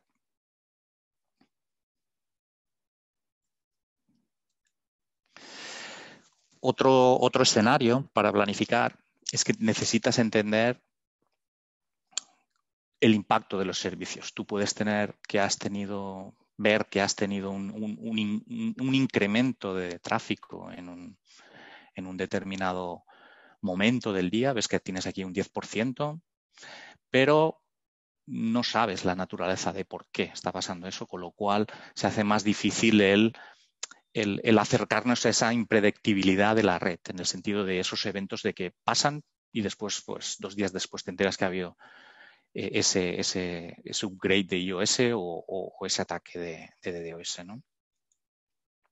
Entonces, lo que se necesita realmente es visibilidad a nivel de servicio. En este caso, y esto es un caso real, en este caso pudimos ver que realmente eh, la aplicación de Twitch realmente hizo un broadcast event y tuvo unos picos acorde con la red, con el total de la red no es muy grande porque simplemente es un 10%, pero a nivel de, aplicación se ve que hay unos crecimientos pues del, del, del 400 o 350% justo en los, en los días que se estaban programando esos eventos. Añadir que no simplemente puedes, puedes verlo eh, por, aplicación o por servicio, sino que el sistema debería permitirte hacer un, drill down o, hacer un breakdown en, otras, digamos, en, otras dimensiones con las que ver si eso se produce a nivel general de la red o en una, en una zona o simplemente para el tráfico que viene de un, de específico demás. Otro ejemplo que necesitamos para la planificación es que tienes que, entender eh, el impacto que va a tener en, cómo planificas y despliegas los nuevos elementos de red. Simplemente hasta ahora, pues, ¿qué hacíamos? Mirábamos las capacidades de los links, y, pero no sabes exactamente por qué se están produciendo. En este caso, veríamos que este incremento de, tráfico de link que lo estás pagando porque probablemente tengas un acuerdo con este peering link en el que a partir de cierto volumen tengas que pagar eh, este, este, exceso. Eh, se produce en determinados eventos, en este caso era un, evento deportivo y en él con un, con un, con una, con, una, con un servicio, con una aplicación con el cual tenías un, un peering directo. Pero eh, aún así, durante los días de máxima audiencia, este otro, otro, otro servicio estaba enviando a, través de, de, CDNs públicas parte del tráfico. De esta manera puedes eh, ver cómo está afectando estos picos a tu, a tu operación de, del tráfico.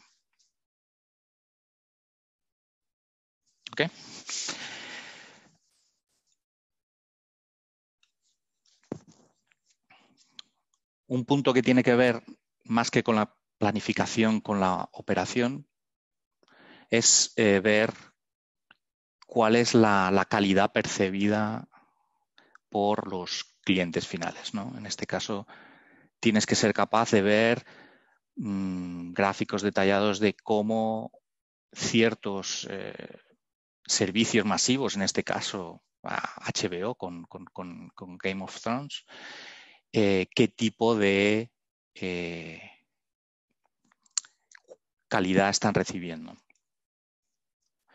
Cuando dicen HBO, pues, vamos a poner Netflix, que es el, que ya he, colocado en la cabecera de la presentación y de alguna manera tienes que ser capaz de pues, ver claramente el número de streams, cómo, cómo este se está dibujando a través del tiempo y además, algo importante, ver que realmente el, el, average bitrate que reciben estos usuarios están realmente, eh, se está manteniendo y igual durante, es decir, que no, el average bitrate, como sabéis, eh, se adapta a las condiciones de la, línea y en este caso estamos viendo que aunque aumenta espectacularmente el número de streams, el ABR se mantiene igual durante todo, con lo cual eh, estoy viendo que no, no tengo ningún problema de calidad de cara a los usuarios.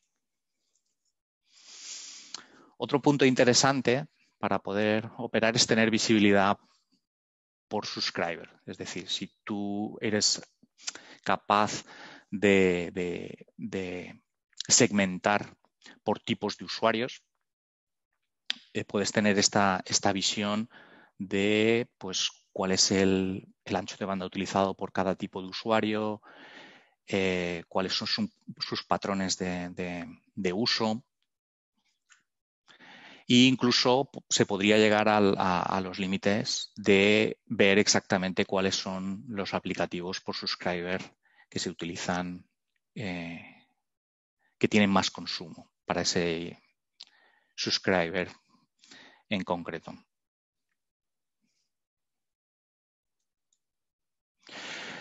Otra cosa importante ah, para la operación es tener información no de que algo se ha caído, ese link que se ha caído, sino eh, o como bien decía Fernando, de te llama alguien por teléfono para decir que no puedo ver un determinado servicio, tener sistemas que sean capaces de ver no solo que en este caso eh, este elemento de aquí ha tenido una bajada en el tráfico y que claramente se ve que no, que no, que no, que no está funcionando correctamente, sino ver ¿esto en qué afecta a, mis, a mis subscribers? En el sentido de qué servicios me va a afectar, ¿no? En el sentido de yo puedo hacer un drill y decir, bueno, quiero ver exactamente cuántos eh, Netflix streams se ven afectados porque realmente este elemento se ha caído. ¿De acuerdo?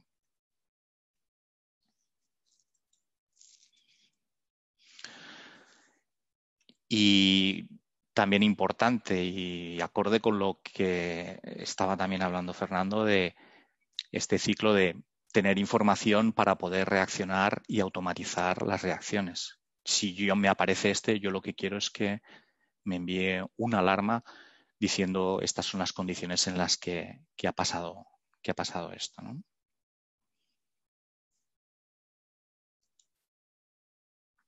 Vale. Ahora paso a unos últimos tres eh, escenarios o descripciones de cómo proteger la red.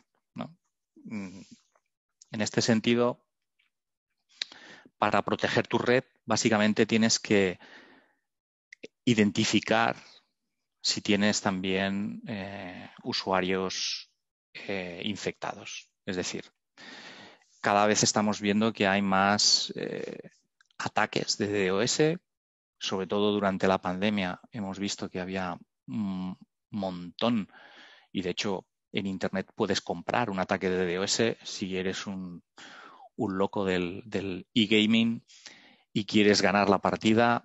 Mm, se ha visto un aumento, sobre todo en los Estados Unidos, un aumento enorme de este tipo de ataques eh, contratados para, poder ganar el, el gaming.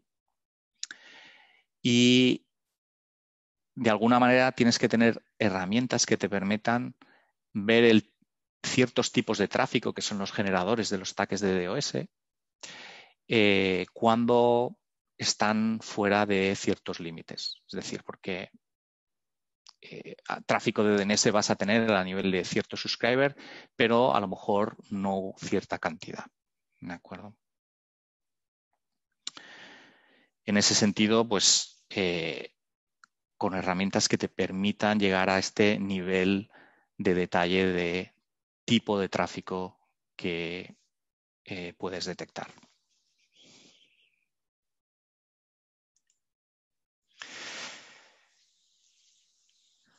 No solo identificar quién puede generar los ataques, sino también ser capaz, evidentemente, de ver, eh, de proteger tu infraestructura como red y proteger a tus, a tus clientes. Y para ello, si tienes una visión de la, de la red y puedes estar monitorizando los diferentes tipos de, ataques o los diferentes ratios, en este caso de, DNS, puedes indicar que realmente está, está ocurriendo este, este ataque, en este caso un DNS amplification.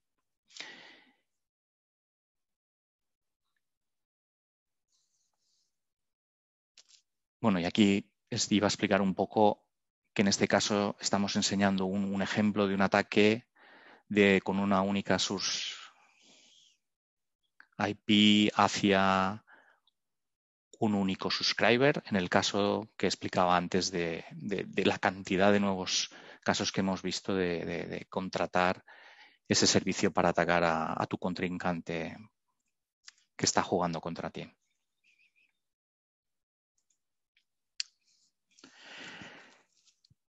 Y aquí un poco lo que os quería contar es explicaros un poco, dices, quiero proteger mi red, pero ¿de qué? ¿De dónde? En el sentido, normalmente eh, puedes tener ataques o hasta ahora tradicionalmente las redes siempre veían que los ataques venían de fuera.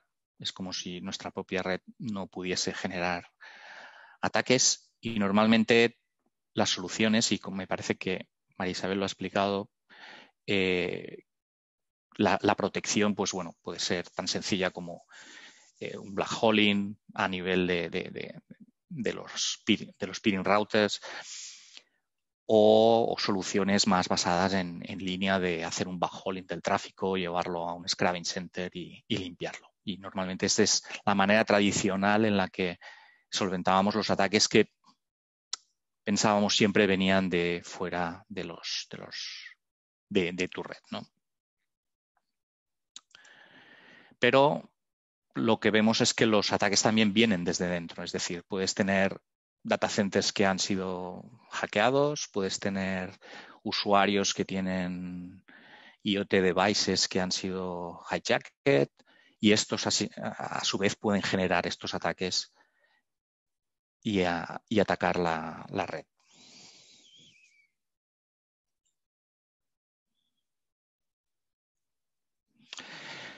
Aquí está, en esta, y esta es la, última de, de, DOS, básicamente desde mm, Nokia lo que, lo que vemos es que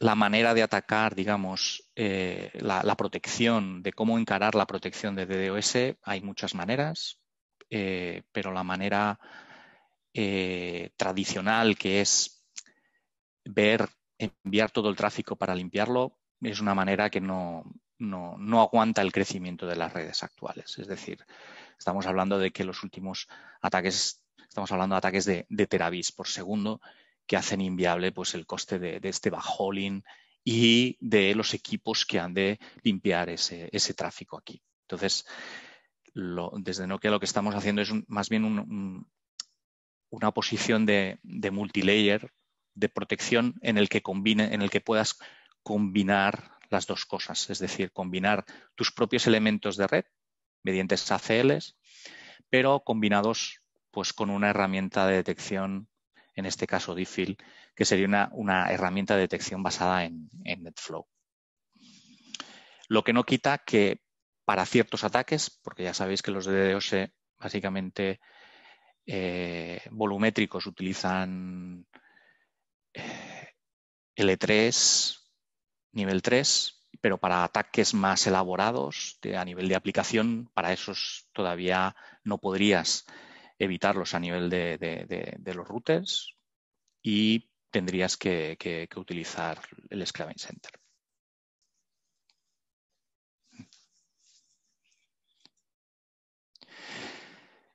Y ahora un poco el, summary de lo que quería explicar. Para planificar, para operar y para proteger, tenemos que, que necesitamos un nuevo approach. Y va en línea un poco con, con lo que habéis explicado en las otras presentaciones, en el sentido de que todo lo tienes que automatizar,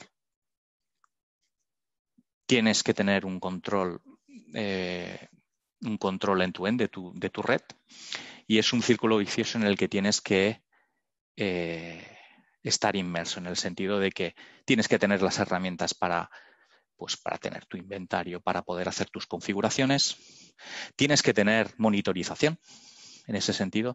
Y de alguna manera tienes que tener esa información y ese insight o ese, esa granularidad para poder enseñar la información no de ese específico link, sino de la red en general. Una especie de correlación para tener una visión y general, general de la red. Y esta asimismo te indicará cuáles serían las políticas para accionar. ¿De acuerdo?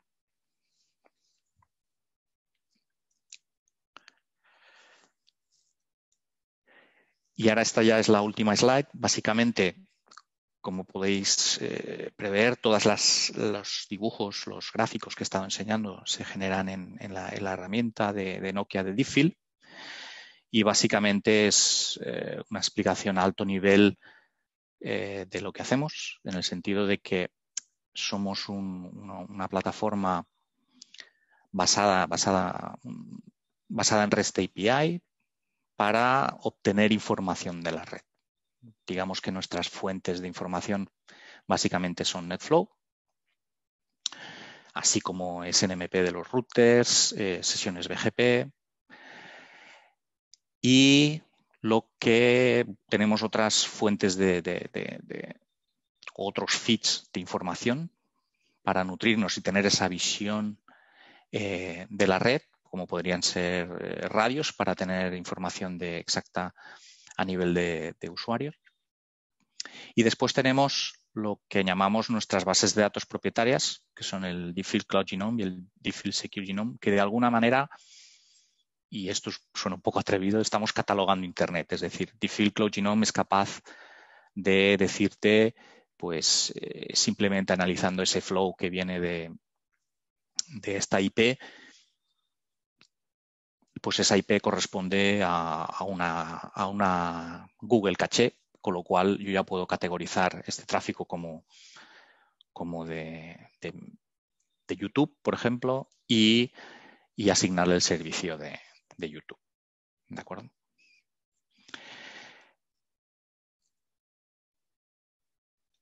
Todo eso siempre con una herramienta en la que, como decía, estamos alimentándonos de NetFlow, no estamos utilizando proofs, no estamos on path, sino simplemente estamos eh, fuera de la red y recibiendo, no sé si es lo que, cuando decías herramientas, Isabel, en, tus, en tus gráficas ponías telemetría, no sé si te referías a esa telemetría que estaba al fondo a la izquierda, si sería esta la telemetría, y nosotros lo solemos llamar network telemetría, que te permite pues hacer esa abstracción de la, de la red y, verificar cuál, cuál, es el estado. Ok, y esto es básicamente lo que quería explicar. ¿Tenéis alguna pregunta? Muchas gracias. Sí que ya hay preguntas. Mira, Fernando. A ver, eh, hola, Fernando. Ah, hola, buenas, buenas tardes. Eso primero. Eh, simplemente un poco el tema del aprendizaje, es decir, tal como lo, has planteado, pues, sino todos mm. los eh, handicaps que tenemos ahora de cara a que sí, que muchos de esos los reconozco en nuestra propia red y en otras redes. Eh, y luego el tema de automatizar, diríamos, la, cómo responder a ellos. Pero, diríamos, la fase de aprendizaje, bueno, el nombre de la herramienta es Deep, Deep Drive o Deep, Deep Field. Pero eso se suele asociar a, sí, se suele asociar a, aprendía Machine Learning y cosas de estas, ¿no? Que, eh, bueno, soy un poco escéptico en lo, el concepto de Machine Learning, ¿eh? Es decir, eh, ¿vuestra herramienta cómo lo tiene de automatizado o necesita mucha intervención humana? O... Eh, de hecho, de hecho, lo que he explicado al final de, claro, porque todo eso os preguntaréis, bueno, ¿y cómo haces ese mapeo de esto es este servicio, ¿no? Porque mm, Internet es dinámico, va cambiando constantemente. En ese sentido, cuando decía que esas, eh, esas dos bases de datos, la de, la de Field Cloud Genome y la de, la de Secure Genome, la de Secure Genome está dirigida a, pues, por ejemplo, a temas de seguridad para, prevenir los DDoS. Ahí tenemos pues la lista de conocidos servidores de, Memcache que son que sabemos que están comprometidos. Hay una serie de datos que nos ayudan a, clasificar.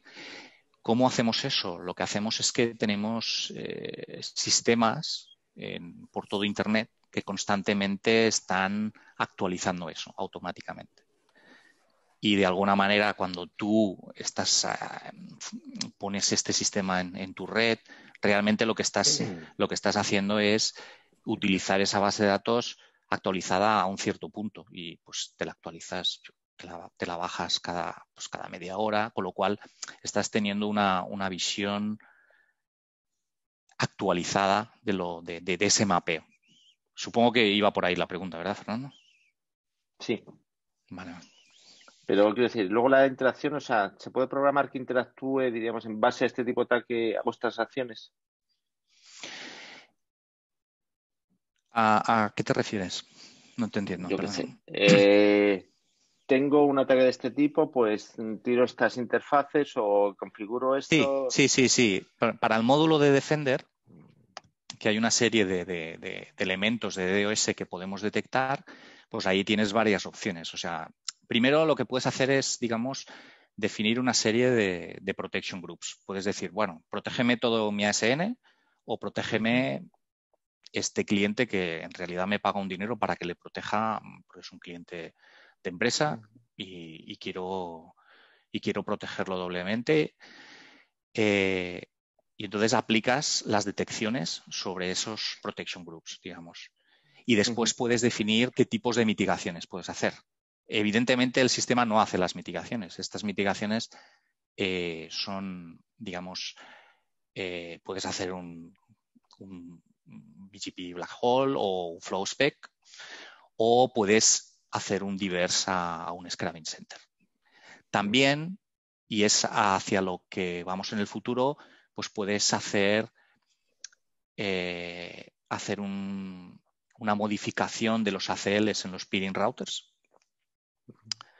en tiempo real para eh, quitar parte de ese ataque de DOS y bueno, lo que explicaba en la última, en la última slide, en el sentido de que eliminar los DDoS a nivel de, de, peering o a nivel de router utilizando los routers que tienes en, la red.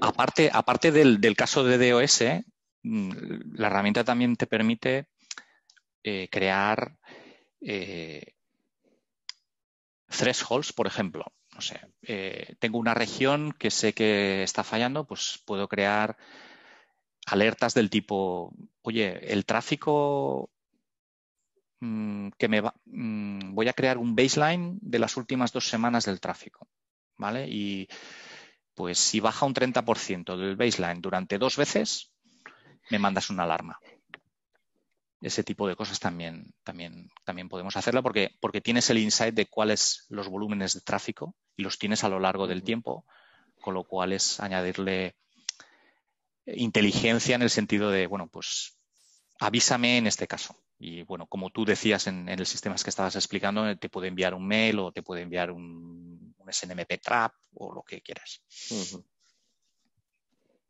De acuerdo. Muy bien. ¿Alguien más? Parece que no, gracias. A las presentaciones las iremos subiendo. Tengo un pequeño problema con tu fichero. ¿Alguien? Ah, perdón, es que alguien ha preguntado, ¿esto lo hacéis en conjunto con Radware, Álvaro? Ah, sí, por el chat, demasiadas ventanas. Eso estaba viendo ahora. Sí, sí, sí, lo estaba poniendo ahí. Sí, no, a ver. nosotros tenemos Radware y Radware hace las funciones de mitigador Sí. Y hace las funciones de, recolector, ¿no? Por decirlo así, de flujos. De detector sería la palabra. Detector, sí, sí, sí, sí. Sí, sí. Sí, sí. De hecho, no. En principio, con Arbor no solemos tener, porque digamos es el, competidor, pero. Eh, y tiene su propio, digamos, detector basado en NetFlow pero sí que tenemos eh, integraciones con Radware y con otro fabricante, creo que es A10. Eh, sí que sí que sí que no tenemos eh, producciones con eso. Pues, o sea, si nosotros lo que nos recomendáis es el es con, con Radware, nosotros tenemos Arbor, Radware y FlowSpec. Y FlowSpec. sí, sí.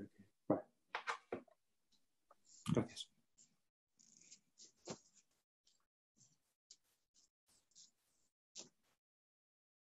Pues muchas gracias.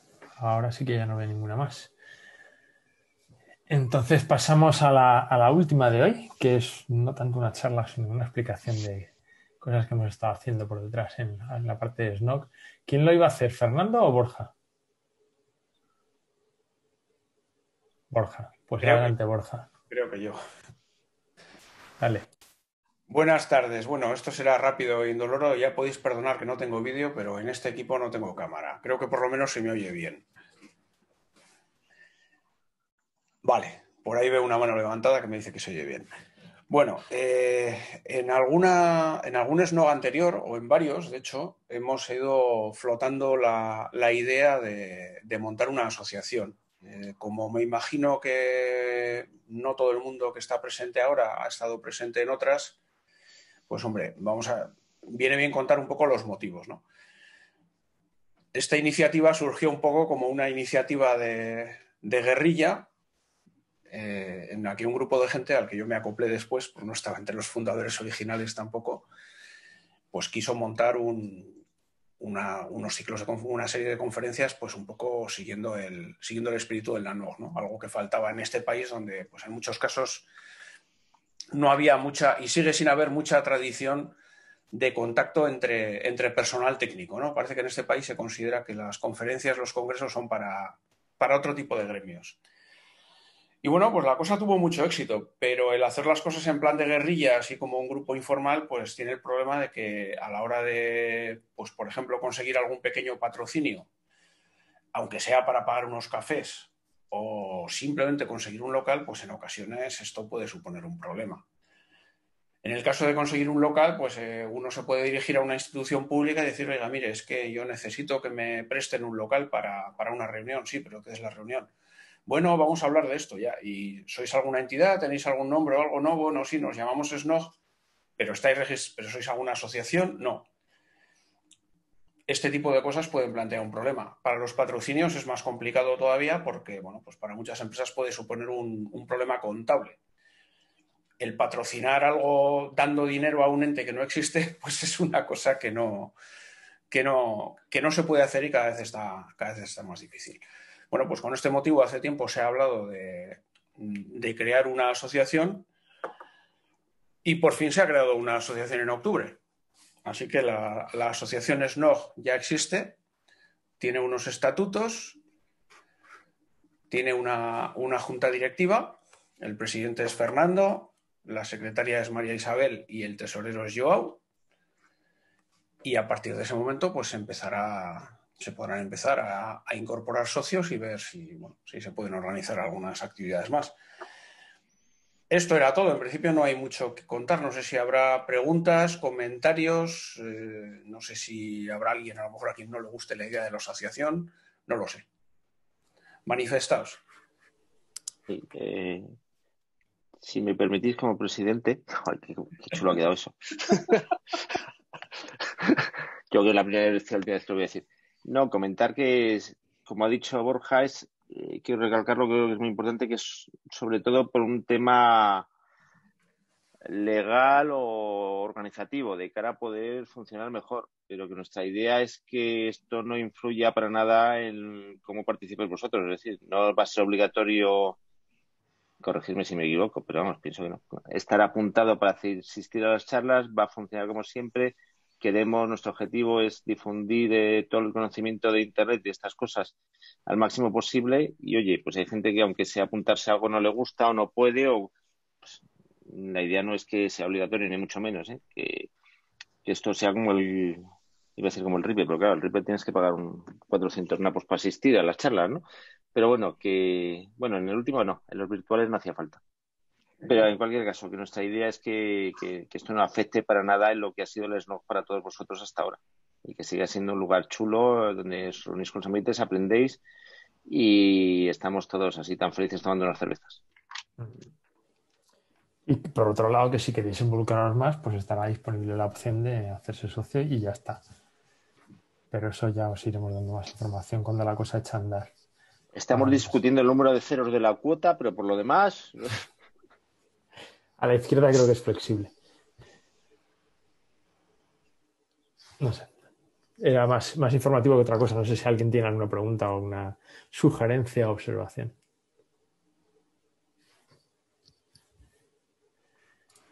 Parece que no, hay aprobación por unanimidad. se oyen los, los, grillos, se oyen los grillos. Sí, sí, sí, sí. Ajá. Bueno, mira. Hay un thumbs up. Hay dos. Dos thumbs up. Tres. Bueno, pues, pues hasta aquí hemos llegado hoy. Entonces, eh, intentaremos hacer algo ya pasada en, 2021, en pasadas Navidades y el Año Nuevo y todo eso. probablemente también en, plan eh, online, porque esto del virus no se va a arreglar hasta bien entrado el año que viene, me temo. Ah, pero por lo menos dar un poco de continuidad y vernos y discutir entre nosotros. Y por supuesto sigue estando la lista de correo, en la que os animo a que participéis. Y por mi parte nada más.